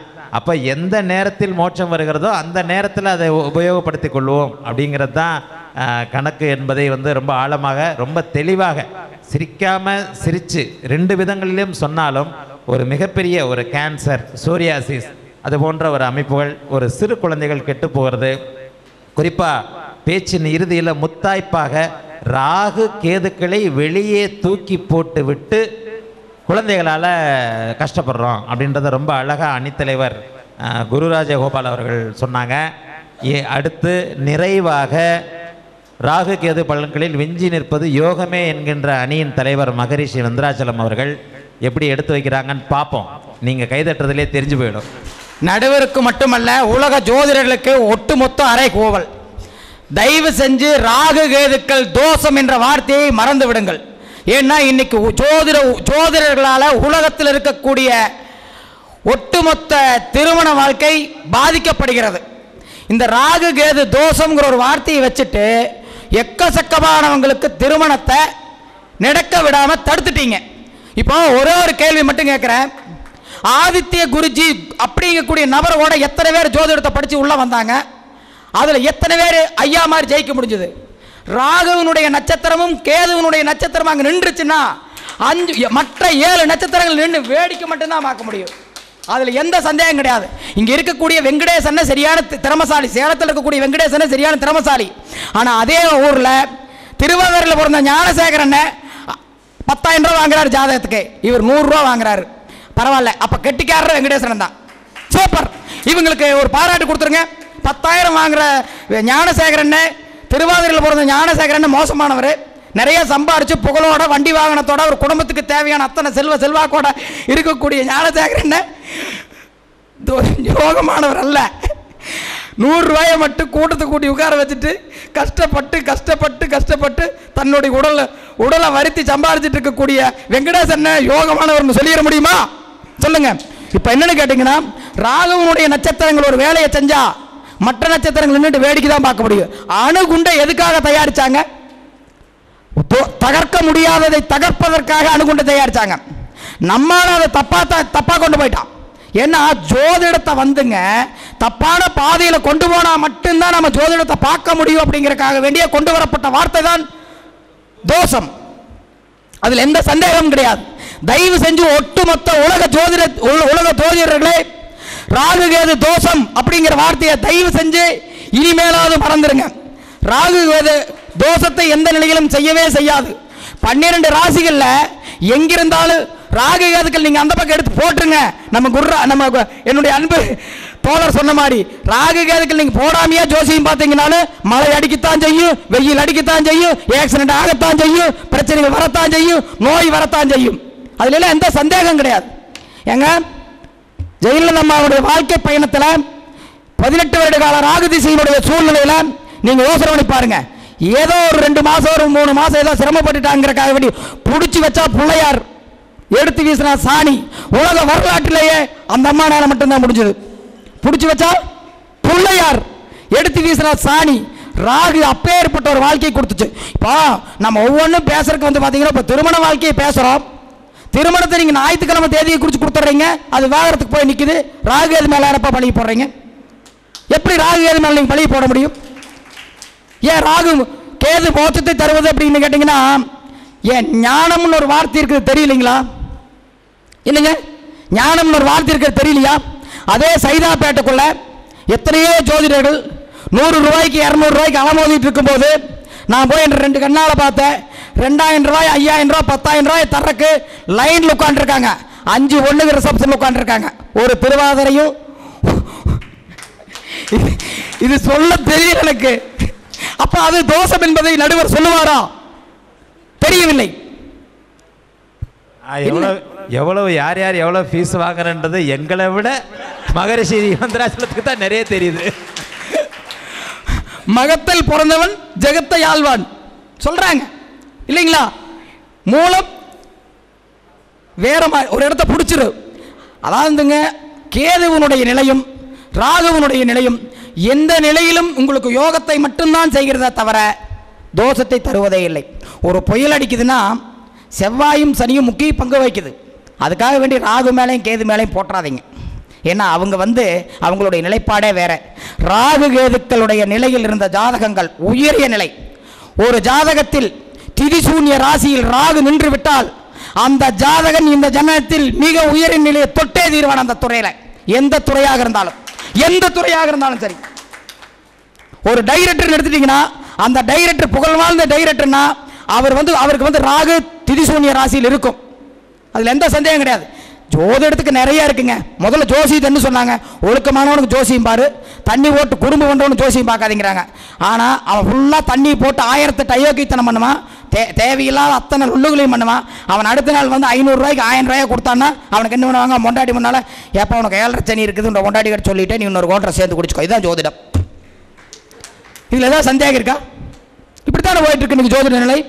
மறுபடியும் மறுபடியும் தயவு செஞ்சு கேட்குறேன் எந்த சூழ்நிலையிலையும் ராகு கேதுக்கள் தோஷங்கிறத நீங்கள் தொழிலில் சொல்லுங்கள் மற்ற எதில் வேணாலும் சொல்லுங்கள் ஆனால் திருமண வாழ்க்கையிலையோ மற்றபடி மனோ தத்துவ மனோ மனநிலையிலையோ ஒருவருடைய வாழ்க்கை சூழ்நிலையிலையோ ராகு கேதுக்கள் தோஷம் செய்யும்னு சொல்லவே சொல்லாதீங்க. ஒரு மனிதன் வாழ்க்கையில் வெற்றி பெற வேண்டுமானால் ராகு யோகம் செய்தே செய்தால் மட்டும்தான் அந்த ஜாதகன் இந்த ஜனனத்தில் வெற்றி பெற முடியும். ஒரு ஜாதகம் உயர்நிலைக்கு போக வேண்டுமென்றால் ராகுவும் கேதுவும் யோகத்தை செய்தால் மட்டும்தான் உயர்நிலைக்கு போக முடியும். ஆனால் தோஷத்தை எந்த கோள்கள் வேணாலும் எப்படி வேணாலும் கொடுக்கும் நம்ம சொல்லிட்டு போயிடலாம். தயவு செஞ்சு ராகு கேதுக்கள் தோஷத்தை தரும் என்ற தவறான ஒரு தீர்ப்பை எழுதி ஜோதிடத்திற்கு மட்டுமல்ல அந்த ஆதித்திற்கும் சேர்ந்து இந்த இந்த பிரபஞ்சத்திற்கும் தவறான ஒரு தீர்ப்பை எழுதிவிட்டோமே என்று இன்னும் நடுவருக்கு ஐம்பது வருஷம் தான் ஆயிருக்கு. இன்னும் ஐம்பது வருஷம் பாதி இருக்கு. இந்த பாதி காலத்தில் நம்ம ஒரு தவறான தீர்ப்பை எழுதிட்டோம்னு சொல்லி காலம் பூரா வருத்தப்பட்டு கஷ்டப்பட வேண்டாம்னு சொல்லி என்னுடைய அன்பு நண்பர் ஆதித்ய குருஜி ஐயா அவர்களை வேண்டி விரும்பி எந்த நிலையிலும் ராககேதுக்கள் யோகத்தை மட்டுமே செய்யும் யோகத்தை மட்டுமே செய்யும் யோகத்தை மட்டுமே செய்யும் ராககேதுக்களை ஒருவர் உயிரிய நிலைக்கு கொண்டு செல்லும் அனைத்து துறையிலும் ஒருவர் உயிரிய நிலைக்கு செல்ல வேண்டுமானால் ராககேதுக்களின் பரிபூர்ண ஆசியே என்று கூறி வாய்ப்பளித்த அனைத்து நல்லுள்ளங்களுக்கும் நன்றி கூறி எனது குருநாதர் பொற்பாதங்களை போற்றி வணங்கி தவத்திரு மகரசி அவர்களின் பொற்பாதங்களை போற்றி வணங்கி இந்த உரையை நிவர்த்தி செய்கிறேன். நன்றி வணக்கம். ராகு கேதுக்கள்னாலே பிளாக்மெயில் அப்படின்றத மந்திராசனை நிரூபிச்சிட்டார். சென்டிமெண்ட் பிளாக்மெயில் ராகு கேதுக்கள் வலுத்தவர்களை பார்த்தீர்களானால் சென்டிமெண்ட் பிளாக்மெயிலில் காரியத்தை சாதிச்சுக்குவாங்க. அண்ணன் அப்பா அம்மா நீ முன்னாடி தானே.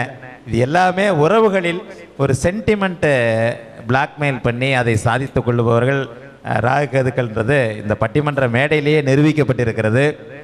இரண்டாவதாக பட்டிமன்ற முதல் நான் நிறைய மேடைகளில் ஜோதிட மேடைகளில் பேசியிருக்கிறேன். ஆனால் இது என்னுடைய முதல் பட்டிமன்ற அனுபவம். என்னை எதுக்கு மகரிஷி மந்திராச்சலம் ஐயா அவர்கள் கூப்பிட்டாங்கன்றதே தெரியல. ஆனால் ஒரு ஜோதிட பட்டிமன்றம்னாலே எனக்கு தூக்கம் வரும். இங்கே எப்படி இருந்ததுன்னு உங்களுக்கு தான் தெரியும். நான் பத்து நிமிஷம்னு சொன்னார். அதை கூட உங்களுக்கு நேரம் போகுது.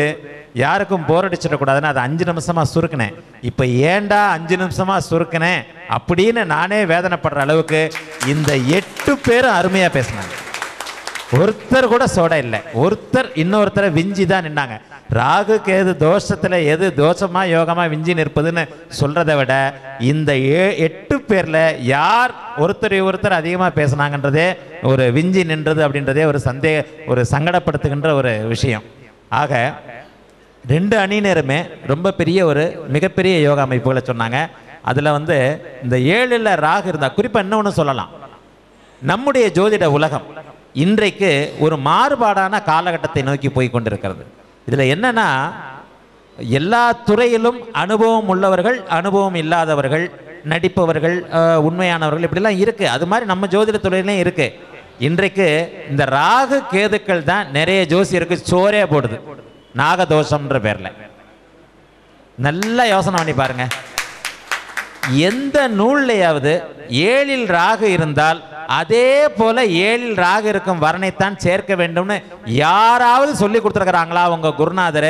மகரிஷி மந்திராச்சலத்துடைய நம்ம இவர் மகரிஷி ஐயா என்னைக்காவது எழுதியிருக்கிறாரா? ஒரு நூலைக்காவது காட்டுங்க. ஒரு வார்த்தையாவது காட்டுங்க. ஜோசியத்தையே விட்டு போயிடுறேன் நான் ஆனா இன்னைக்கு மேற்கு மாவட்டங்கள்லயும் தெற்கு மாவட்டங்கள்லயும் என்ன நடக்குது? அப்படி பார்த்த உடனேயே இதை விட கொடுமை என்ன தெரியுமா? ஜோசியர் நிராகரிக்கிறது இல்லை மேட்ரமோனியிலேயே கழிச்சிடறான். காலங்காலம். இந்த ராகு கேது அப்பாவி ராகு கேதுக்கள் தலையில தான் வரன்.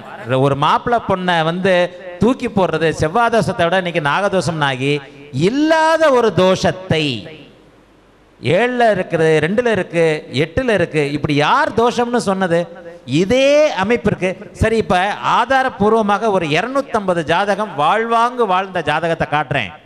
கணவனுக்கு ஏழாம் இடத்துல இருந்து அது போன்ற அமைப்பே இல்லாமல் மனைவிக்கு ஏழாம் இடத்துல ராகுகேதுக்கள் சம்பந்தப்படாமல் இருந்து இருக்கிற கணவனுக்கு ரெண்டாம் இடம் கணவனுக்கு எட்டாம் இடம் மனைவிக்கு ராகுகேது தோஷம் என்று நான் சொல்லுகின்ற எந்த அமைப்பும் இல்லாமல் மனைவிக்கு ராகுகேது தோஷம் இருந்து கணவனுக்கு இல்லாமல் சக்சஸ்ஃபுல்லாக நிறைவாழ்வு வாழ்ந்த இருநூறு முதல் இருநூத்தம்பது ஜாதகம் வரைக்கும் என்னால் கொடுக்க முடியும். எந்த ஒரு வீடியோவிலையும் எந்த ஒரு எழுத்துலையும் நான் நாகதோஷம் செவ்வாதோஷன்றதை எழுதுறதே இல்லை. ஏன்னா அப்படி ஒரு தோஷம் இருந்தா தானே? ஆனா இங்கே ஜோதிடம் வெகு எளிமையாயிடுச்சு. ரொம்ப சிம்பிள் ஜாதகமே ஜோசியமே உங்களுக்கு தெரிய வேண்டாம். ஒன்றாம் நம்பர் ரெண்டாம் நம்பர் லானால இருந்து ஒன்றாம் நம்பர் ரெண்டாம் நம்பர் மூணாம் நம்பர்னு பன்னெண்டு கட்டம் எழுத தெரிஞ்சு என்ன தெரிஞ்சா போறோம். ஏழாவது கட்டத்தில் ராகு இருக்கா? ஒன்றாவது கட்டத்தில் கேது இருக்கா? ரெண்டாவது கட்டத்தில் செவ்வாய் இருக்கா? இந்த பார் இது செவ்வாய் தோஷம் நாகதோஷம் உள்ள ஜாதகம். இதே மாதிரி ஜாதகத்தை தான் பொருத்தணும். தமிழ்நாட்டில் மட்டும்தாங்க இந்த கொடுமை. இந்த மாநிலம் தாண்டி இந்த க- என்னுடைய நண்பர் பிரபலமான இது த- கர்நாடகாவின் நம்பர் ஒன்னு ஜோதிடர் ஆரியவர்தன் இங்கே வந்திருக்கிறார். கர்நாடகாவில் மிக பிரபலமான ஜோதிடர் நம்பர் ஒன்று ஜோதிடர். அவர்கிட்ட போய் கேட்டோம்னா அப்படியே நாகதோஷமா நான் எங்க நான் எங்க சொல்கிறோன்றோம் ஆக ஜோதிடம் ரொம்ப எளிமையாக ராகுகேதுக்கள் மத்தியில் தூக்கி போட்டு ஒ- இருந்தால் தோஷம் ஏழில் இருந்தால் தோஷம். அதற்கு அதே போன்ற ஒரு வர்ணத்தான் பார்க்கணும்னு இல்லாத ஒரு கருத்தையும் ஒத்து வராத ஒரு கருத்தையும் போட்டு ராகுகேதுக்களோட பொதுமக்கள் பேரில் ரொம்ப பயத்தை உண்டு பண்ணதும் இந்த ராகு கேதுக்களால நம்ம ஜோதிட இனம்தானே தவிர வேறு யாருமே கிடையாது. இது வந்து ஒரு கசப்பான ரெண்டாவது பூமியே ராகுவின் அமைப்பில் சென்று கொண்டிருக்கிறதுன்னு நான் ஒரு இதில் இந்த பால்வழி மண்டல ஜோதிட விதியில் எழுதியிருந்தேன். ஏன்னா ஆயிரத்தி தனி மனிதனுக்கு செவ்வாய் ராகு திசைகள் இருப்பதைப் போல ஒரு செல் உயிரினமான உயிரினம் உயிர்னு வந்தா தான் ஜாதகம். ஜடத்துக்கு இல்லை. இந்தியாவின் பிறந்த ஜாதகம்னு சொல்றது மாதிரியான முட்டாள்தனம் வேற எதுவுமே கிடையாது. ஆயிரத்தி தொள்ளாயிரத்தி நாற்பத்தி ஏழு ஆகஸ்ட் மாதம் பதினஞ்சாம் தேதி நள்ளிரவு பன்னெண்டு மணிக்கு இந்தியா பிறந்தது. அப்படின்னு ஒரு ஜாதகத்தை கணிச்சு அதுக்கு தசாபக்தி வருடம் சொல்ற மாதிரி முட்டாள்தனம் வேற எதுவுமே கிடையாது. முதல்ல ஜாதகம் என்பதே உயிருள்ள ஒரு நகரும் ஜீவனுக்கு தான் உயிரில்லாத அமைப்புக்கு உலகியல் ஜோதிடம்னு வந்துருது. அதுக்கு ஜாதகம் கிடையாது. உலகியல் ஜோதிடம்ன்றது ராசி அந்த அந்தந்த உலகியல் ஜோதிட விதிகளின்படி சொல்லப்பட வேண்டியது. ஆனால் இங்கே என்ன சொல்கிறோம் ஆயிரத்தி தொள்ளாயிரத்தி நாற்பத்தி ஏழில் பிறந்த இந்தியாவுக்கு இப்போ எழுபத்தஞ்சு வயசாயிடுச்சு. அப்போ நூற்றி இருபது வயசானதுக்கப்புறம் இந்தியா மறுபடியும் பிறக்குமா? ஜோதிடத்தில் புரிஞ்சிக்காத சாபக்கேடுகள் ஓ ரொம்ப அதிகம். அதே மாதிரி ஒன்றில் தான் இந்த ராகு கேதும் அதாவது இந்த தோஷ அமைப்புகளில் என்றைக்கு தோஷம் ஒரு நல்லதை செய்கின்ற கிரகம் கெட்டதை செய்யுமா நல்லதை செய்யுமான்ற கணிக்க முடியாத சூழ்நிலையில் ஒரு அரைகுறை அனுபவம் உள்ள ஒரு ஜோதிடர் இப்போ இந்த இந்தியாவை கணிக்கிற இது மாதிரியே சில தவறான சில கருத்துக்களை வந்து பொதுமக்கள்கிட்ட குழப்புறதுல ராகுக்கு எது தோஷம் முதன்மையாக இருக்கும். ரெண்டாவது இந்த உலகியல் ஜோதிடத்தை ஏன் சொல்ல வந்தேன்னா தனி மனிதனுக்கு ஜாதக விதிகள் இருப்பதைப் போல ஒரு செல் உயிரினமான ஒரு நாள் பிறந்து என்றோ ஒரு நாள் மறையப் போகின்ற அழியப் போகின்ற இந்த உலகத்திற்கு ஜாதகம் இருக்கிறது. அதாவது இந்த உலகத்திற்கு பொதுவான உயிர் அமைப்பிற்கு ஜாதகம் இருக்கிறதே தவிர அந்த உலகத்தின் எல்லை கோடுகள் நம்ம கற்பனையால கோடுகளில் இந்தியா பாகிஸ்தான் பிரிச்சுக்கிட்டதுக்கு ஜாதக அமைப்புகள் கிடையாது. இந்த உலகம் தற்போது ராகுவின் ஆதிக்கத்தில் சென்று கொண்டிருக்கிறது. இதை வந்து எப்படி நீங்க உணர்ந்துக்க முடியும்னு சொன்னா ஆயிரத்தி தொள்ளாயிரத்தி பத்து ஆயிரத்தி தொள்ளாயிரத்தி நாற்பதுகளில் மிகப்பெரிய உலக மகா யுத்தங்களை உலகம் சந்தித்தது. ஏறத்தாழ ஐந்து கோடி பேர் இறந்து போனார்கள். உலகமே ஒரு வன்முறை களமாக இருந்தது. கிட்டத்தட்ட ஒரு ஐம்பதுலேருந்து அறுபது ஆண்டுகள் வந்து எழுபது ஆண்டுகளாக கூட இருக்கலாம். அல்லது ஏழு அதுக்கு முன்னாடி போனீங்கன்னா சென்ற ஆயிரம் நூற்றாண்டு காலம் வரைக்குமே ஒரு ஆயிரம் காலம் வரை ஆயிரம் ஆண்டு காலம் வரைக்குமே ஒவ்வொரு நாட்டுக்குள்ளேயும் யுத்தங்கள் நிறைவாக உலகம் உலகமாக யுத்தம்னு செவ்வாயின் தசையில் செவ்வாயின் ஆதிக்கத்தில் நம்முடைய பூமி சென்று கொண்டு அது கிட்டத்தட்ட பத்தொன்பதாம் நூற்றாண்டின் முடிவில் நிறைவுற்று இருபதாம் நூற்றாண்டில் செல்போன் யுகத்தில் இப்போ நம்ம போய்கிட்டு இருக்கோம். அதாவது வன்முறைகள் அற்ற ஒரு சட்டம் ஒழுங்குகளுக்கு உள்ள வந்து விஞ்ஞான வளர்ச்சிக்கு காரணம் இந்த ராகு தானே. கையில செல்போன் ஒரு முப்பது வயதிற்கு முன்னாடி கனவு கூட கண்டிருப்போமா? நம்ம கையில் வச்சிருக்கிற இந்த தீப்பெட்டி அளவிலான இந்த கருவியினால உலகம் முழுமையும் இந்த தீப்பெட்டிக்குள்ள அடங்கி விட்டது அப்படின்றத நம்ம ஒரு முப்பது ஆண்டுகளுக்கு முன்னாடி யோசிச்சிருப்போமா? ஆயிரத்தி தொள்ளாயிரத்தி தொண்ணூத்தி ஐந்துக்கு முன்னால செல்போன் அப்படின்னு ஒன்னு சொல்லியிருந்தோம்னா நம்மளை பைத்தியக்காரன் தானே சொல்லியிருப்பாங்க. ஆக இந்த நூற்றாண்டு முதல் அல்லது சென்ற நூற்றாண்டு முதல் விஞ்ஞான வளர்ச்சியின் ஒரு பொருளை போகம் செய்பவன் சொல்றோம்ல அனுபவிக்கிறோம்ல. இப்போ ஒவ்வொருவரும் செல்போனை அனுபவிக்கிறோம். ஆக அது ராகு தான் ஒரு அனுபவிக்க தருபவர் ராகு.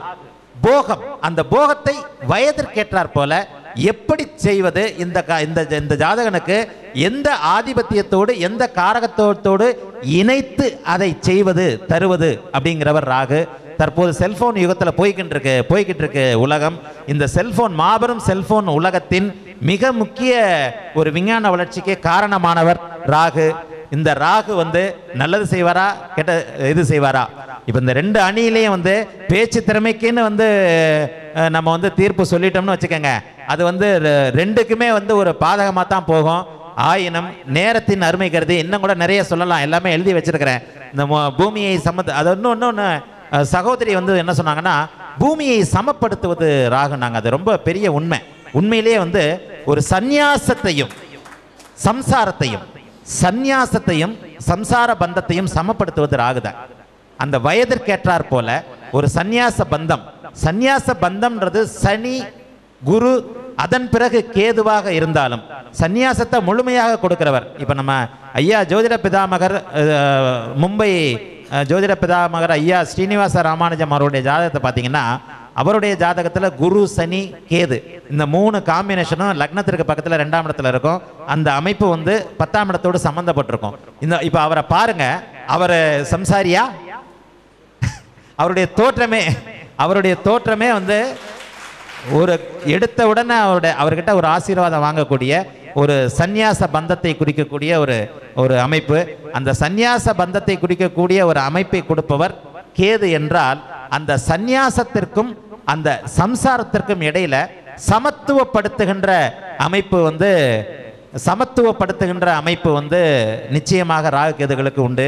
ராகு கேதுக்கள் இல்லாமல் இந்த உலகம் இல்லை. ராமாயண காலத்தில் ராகு கேதுக்கள் சொல்லப்படலைன்ட்டு ஒரு ஒரு கருத்து இந்த எட்டு பேரில் ஒருத்தர்கிட்ட வந்தது.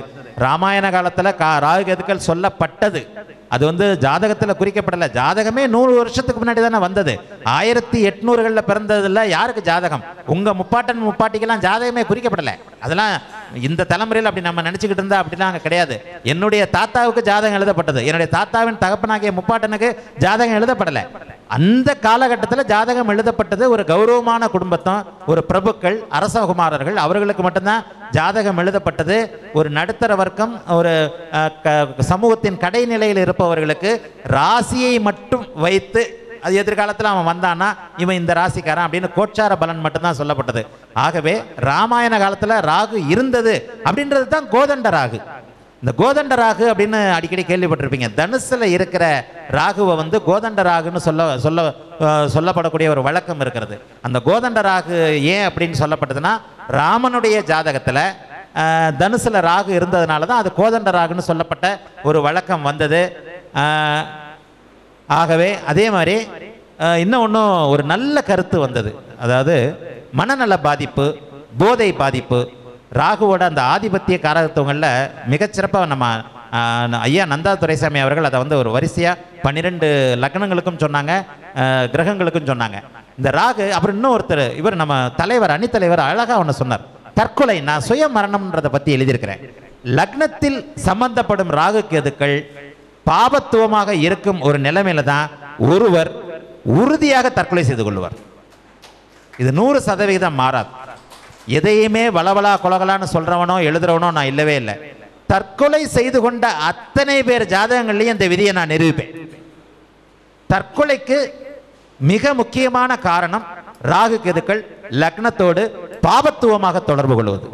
அஷ்டமாதிபதி கூடையும் ஆறு குடையவனோடும் கூடி லக்னத்தோடு ராகு கேதுக்கள் தொடர்பு கொள்ளும் நிலையில நிச்சயமாக ஒரு மனித ஒரு மனிதனை தற்கொலை எண்ணத்தை அவர் நிறைவேற்றவே செய்வார். இது இந்த சஷ்ட அஷ்டமாதிபதிகள்னு சொல்லப்படக்கூடிய ஆறு எட்டு குடையவர்கள் இந்த நிலைமையில் இருக்கும்போது அவனுடைய மனதை பாதிக்க வைக்கிறார். இன்னும் கூட ஒரு சில விஷயங்கள்லாம் பார்த்தீங்கன்னா இப்போ எல்லாருமே வெளிநாட்டுக்கு போயிட்டோம். நிறைய வெளிநாடு. ராகு தசையில் முதல்ல வெளிநாட்டுக்கு அனுப்பிச்சிருவார். வெளிநாட்டுக்கு அனுப்பிச்சு அங்கே அந்த வேலை இல்லாத வேலை அதிகமாக இருக்கின்ற ஒரு வேலையில் இருக்கிற மன அழுத்தத்தை அவனுக்கு கொண்டு வந்து இங்கே இருக்கிற தாய் தகப்பனை ஏன்டா நான் போனேன்னு சொல்லிட்டு வெளிநாட்டிலேருந்து இப்போ இப்போ நம்ம இங்கே வந்து கோயம்புத்தூரில் பேசிக்கிட்டு இருக்கோம். ஒரு மனுஷன் திருப்பூரில் வேலை செய்கிறான்னா எனக்கு வேலை பிடிக்கலப்பா அப்படின்னு சொன்னால் உடனே கிளம்பி அடுத்த பஸ்ஸில் வான்னு சொல்லலாம். அமெரிக்காவில் வேலை செய்கிறவன அடுத்த ஃப்ளைட்டு பிடிச்சி வான்னு சொல்ல முடியாது. என்னிடம் வருகின்ற நிறைய ராகு கேது பாதிப்புகள் ஜாதகத்தில் இது ஒன்று ஒரு வித்தியாசமான ஒன்று. ஒரு பிரில்லியன்ட் கோல்டு மெடலிஸ்ட் ஸ்டூடெண்டா போறவன் திரும்பி வரும்போது பைத்தியமாக வருவான். ராகு திசையில. இங்கே யூனிவர்சிட்டியில கோல்டு மெடலிஸ்டா போனவன் அங்கே போய் அந்த சூழ்நிலையின் தாக்கத்தை அவனால் அதை சகிச்சிக்க முடியாம மிக முக்கியமாக தனித்த உணர்வால தாய் தகப்பம் இல்லாத உணர்வு. இவங்க டெய்லி வீடியோ காலில் அவங்ககிட்ட பேசிட்டே இருப்பாங்க. இந்த- இந்த மாதிரி கிளையண்ட்லாம் என்கிட்ட வந்திருக்காங்க. ராத்திரியானா நான் செத்து போக போறேன்ட்டு அவன் அமெரிக்காவில் அழுவான். தாய் தகப்பனுடைய நிலைமையை பாருங்க. பாபத்துவ ராகு லக்ன ராகு லக்னத்தோடு சேர்ந்து அவனுடைய லக்னாதிபதியவோ அவனுடைய ஐந்து ஒன்பது குடையவனையோ பீடித்த ராகு அவனை சர ராசிகளில் இருக்கிற நிலைமையில அவனை வந்து வெளிநாட்டுக்கு அனுப்பி அங்கே தனிமை உணர்வோடும் அதிகமான வேலை மனப்பழுவாலும் அங்கே வந்து நான் செத்து போக போறேன்னு அழுகிறேன். ஒரு ஒரு குழந்தை ஒரு இருபது இருபத்தஞ்சு வயசு வாலிபன் செத்து போக போறேன்னு வீடியோ காலில் போய் அழுதுகிட்டு இருந்தா தாய் தகப்பனுடைய மனநிலைமை எப்படி இருக்குன்னு தெரிஞ்சுக்கங்க. இதை தருபவர்கள் ராகு கெதுக்கள். அதே அமைப்பில் அவன் திரும்பி வந்து ரூமை பூட்டிக்கிட்டு வெளிச்சத்தையே பார்க்க முடியாமல் இருட்டுக்குள்ளேயே உட்காந்துக்கிட்டு வெளியவே வராமல் மனநல பாதிப்பு உள்ள நிறைய ஜாதகங்களை என்னால் நிரூபிக்க முடியும். அடுத்தடுத்து இது மாதிரியான ஜாதகங்களை நான் எழுதவும் தான் போகிறேன் ஆகவே ராகு கேதுக்கள் அதிகமான தோஷத்தை தருகிறார்கள். சரி இந்த இந்த இந்த அமைப்பு இருக்கட்டும். சரி ராகு கேதுக்கள் நல்லதையே தருவதில்லையா? இதுல எது விஞ்சி நிற்கிறது? அப்ப ராகு கேதுக்களுடைய அமைப்புல எது சக்சஸ்ஃபுல்லா இருக்கு? ஒருவனை மிகவும் பிரபலப்படுத்தக்கூடியது ராகு. திடீர்னு நேத்து தான் வந்து இவர் சைக்கிளில் போய்கிட்டு இருந்தாரு. இந்த ஒரு படத்துல கவுண்டமணி வந்து மரத்துக்கு மரம் உண்டியல் கட்டுவார். முதல்ல வந்து சைக்கிளில் வந்து உண்டியல் எடுப்பார். அடுத்து டிவிஎஸ் ஃபிஃப்டியில் வந்து உண்டியல் எடுப்பார். அடுத்து வந்து ஏதோ ஒரு பைக் ஹண்ட்ரட் சிசி பைக்கில் வந்து எடுப்பார். அடுத்து ஏதோ ஒரு த்ரீ வீலரில் வருவார். அப்புறம் ஒரு பெரிய காரில் வந்து காரை விட்டு இறங்காமே அப்படியே மரத்துலேருந்து இந்த நிலைமைக்கு காரணம் ராகு. ஒருவனுடைய ஒரு அபரிமிதமான வளர்ச்சியை ஒரு படிப்படியாக கண்ணுக்கு தெரியும் நேற்று வரைக்கும் இப்படி இப்படி போய்கிட்டு இருந்தா என்ன இப்போ ரெண்டு மூணு வருஷம் ஆச்சு. அதுக்குள்ள வீடு கட்டிட்டான் அது கட்டிட்டான். காரில் போகிறான் மதிக்கவே மாட்டேன்றான் அந்த பக்கம் திரும்பிக்கிறான் அப்படின்னு சொல்லப்படக்கூடிய ஒரு இதில் இன்னொரு வார்த்தையை கூட சொல்லலாம். தகுதி இல்லாத ஒரு நபரையும் உயரத்தில் கொண்டு போய் வைப்பவர் ராகு. ராகுவினுடைய மிக முக்கிய குணம் தகுதி இருப்பவன் கோபுரத்தின் கீழே நின்று அண்ணாந்து பார்த்து கொண்டிருக்கையில் தகுதியே இல்லாதவன் கோபுரத்தின் மேலே நின்று கைகாட்டும் நிலைமை ராகு திசையில் நடக்கும். அந்த சுபத்துவ ராகு அதை செய்வார். எப்போது ராகு அந்த மேஷம் ரிஷபம் கடகம் கன்னி மகரம் என்ற ஐந்து இடங்களில் குரு சுக்கர தொடர்புகளோடு லக்ன சுக்கிர தொடர் லக்ன சுபர்களோட தொடர்புகளோடு இருக்கும் நிலைமையில குப்பையில் கிடக்கின்ற ஒருவனை வந்து இந்த இது இந்த அமைதிப்படையில் வந்து சத்யராஜ் நாய் கூட சண்டை போடுவார் இல்லையா? அடுத்து வந்து அந்த காலில் மேலே கால் போட்டுட்டு இடிக்குதுன்னு தெரியல தெரியுதுல மணி தள்ளி நிற்க வேண்டியது தானே? அப்படின்னு சொல்கிற நிலைமை ஒருவனை அரசியலிலேயோ பொதுமக்களிலேயோ நடிப்பிலேயோ ஒருவனை மிக பிரபலமாக்குபவர் ராகு. ராகு தசையில் எத்தனையோ சினிமா நடிகர்கள் ஜாதகத்தில் என்னால் நிரூபிக்க முடியும். இதை ஏன் வந்து இந்த நிரூபிக்க முடியும் அப்படின்னு சொல்கிறேன்னா பரம்பொருளின் கருணையினால் சற்று உயரத்தில் இருப்பவர்களுடைய ஜாதகத்தை பார்க்கும் வாய்ப்பை நான் பெற்றிருக்கிறேன். இவர் ஏன் இந்த உயரத்திற்கு வந்திருக்கிறார். இது எல்லாருக்கும் இந்த அமைப்பு கிடைச்சல எல்லாரும் தலைநகரத்தில் இருக்கிறதில்ல. எல்லாரும் ஏதோ ஒரு வகையில் பிரபலம் ஆயிடுறதில்ல இது ஒன்று பிரபலமானவர்கள் அனைவரும் பெரிய ஜோதிடர்கள் நான் ஒத்துக்க மாட்டேன். நேற்று நான் எழுதியிருக்கிறேன். நேற்று மாலை மலர் கேள்வி பதில்ல என்னுடைய பதில் எழுதியிருக்கிறேன். பிரபலமாக இருப்பவர்கள் அனைவரும் பெரிய ஜோதிடர்கள் அல்ல. எங்கேயோ ஒரு மூலையில் கிராமத்தில் எங்களைப் போல பிரபலமான ஜோதிடர்களை விட விஷயம் தெரிஞ்சவர் அமுக்கமாக இருக்கிறார். எங்களை விட பெரியாள் அதுதான் உண்மை. சந்தர்ப்ப வசத்தால ராகுவின் தயவால் நாங்களும் பிரபலம் ஆயிட்டோம் உண்மை ஜோதிடம் ரெண்டு பக்கமும் இருக்கும். சொல்லிடணும். ராகுவின் தயவால் நாங்க பிரபலம் ஆயிட்டோம் இதுல தகுதி இல்லாதவனை தூக்கி வைக்கின்ற ராகு அந்த தசாபக்தி காலம் முடிந்ததுக்கு பிறகு அவனை இறக்கம் இல்லாம கீழே தள்ளிடுவார். தகுதி இருப்பவனே அங்கேயே தக்க வைத்துக் கொண்டிருப்பார். அந்த சுபத்துவராகின்ற விஷயம் இதற்கு எத்தனையோ பேரை சொல்ல முடியும். நடிகர்களை சொல்ல முடியும். மகாத்மா காந்தி ராகுதேசில தான் பிரபலமானார். மகாத்மா என்கின்ற அவருடைய பட்டம் கடகராகுவின் திசையில தான் கொடுக்கப்பட்டது. நம்முடைய மக்கள் தலைவர் எம்ஜிஆர் அவர்கள் மக்கள் திலகம் எம்ஜிஆர் அவர்கள் ஐந்தாம் இடத்துல தர்மகர்மாதிபதிகளோட சேர்ந்த ராகுவின் திசையில தான் சுயபக்தியில தான் அவர் வந்து அஹ், இவராவே முதல்வராவே ஆனார். அவருடைய புகழின் உச்சி ராகு அமைப்பில் தான் ஏற்பட்டது. ஆக ஒருவருக்கு அள்ளி கொடுக்க வேண்டும் என்று ராகு நினைத்து விட்டால் கிள்ளி கொடுப்பது என்பது அவரிடம் இருக்கவே இருக்காது. ராகுவை போல நிச்சயமா பழமொழிகளை நம்பாதவன் நான். ஆனா ராகுவை போல கொடுப்பார் இல்லை அப்படிங்கிறது வந்து மிகப்பெரிய உண்மை. ஒரு மனிதனை வந்து யோகத்தின் அனைத்து நிலைகளிலும் ராகு மட்டுமே. ராகுவோட இன்னொன்று என்னன்னா ராகு கூட சேர்ந்த எல்லா கிரகமும் கெடுதல்களை செய்யறதில்லை. ராகுவின் படிநிலைன்னு நான் சொல்றேன். எட்டு டிகிரிக்குள் இணைந்த கிரகம் ராகுவிடம் சரணடையும். பதிமூணு டிகிரிக்கு அப்பால் இருக்கின்ற கிரகம். பதிமூணு டிகிரிக்கு உள்ள இருக்கிற கிரகம் தன்னுடைய தனித்தன்மையை காப்பாற்றி கொண்டு ராகுவுடன் சேர்ந்து ராகுவின் வழியாக அதனுடைய காரகத்துவத்தை தரும். இருபத்தி ரெண்டு டிகிரிக்கு அப்பால விலகி இருக்கிற கிரகம் நிச்சயமாக ராகு கிட்ட சண்டையே போடாது. அது பாட்டுக்கு அது தனியாக அதோடைய காரகத்துவங்களை கொடுக்கும். அந்த கிரகம் சுபத்துவமாக இருந்தால் அந்த வீஷணம் அந்த அந்த சாயை அந்த சாயல் ராகுவிற்கு கிடைத்து அந்த ராகு மிகப்பெரிய நல்ல பலன்களை நிச்சயமாக செய்வார். ஆக கூட்டி கழித்து பார்த்தால் மிக மனசாட்சியோட ஒன்று சொல்லணும் அப்படின்னு சொன்னால் இதில் வந்து ஒரு பட்டிமன்றத்தில் வந்து ஒரு மிகப்பெரிய ஒரு தர்ம சங்கடம் என்னன்னா நாலு பேர் நல்லா இருக்கணும்னா நாலு பேரை வாழ்த்தணும் நாலு பேருக்கு வந்து சங்கடமான பதிலைத்தான் சொல்லணும் அப்படின்னு தான் ஒரு அமைப்பு. இந்த அமைப்பில் என்னுடைய அனுபவத்திற்கு ஏற்றபடியும் ராகுவை பற்றி மட்டுமே ஏறத்தாழ ஒரு பதினைந்து ஆண்டு காலம் ஒரு ஆராய்ச்சி செய்து அதன் பிறகு இன்றைக்கு ஒரு ஜோதிடத்துறைக்கு வந்திருக்கிறவன் அப்படிங்கிற முறைப்படியும் நூல்களை எழுதியவனுடைய முறைப்படியும் இந்த பட்டிமன்றத்தின் தலைப்பான ராகு கேது பலன்களில் விஞ்சி நிற்பது யோகமா தோஷமா என்கின்ற அமைப்பில் என்னுடைய சிற்றறிவுக்கு எட்டிய வகையில் யோகம் மட்டும்தான் என்று கூறி பட்டிமன்றத்தை நிறைவு செய்கிறேன். வாழ்த்துக்கள்.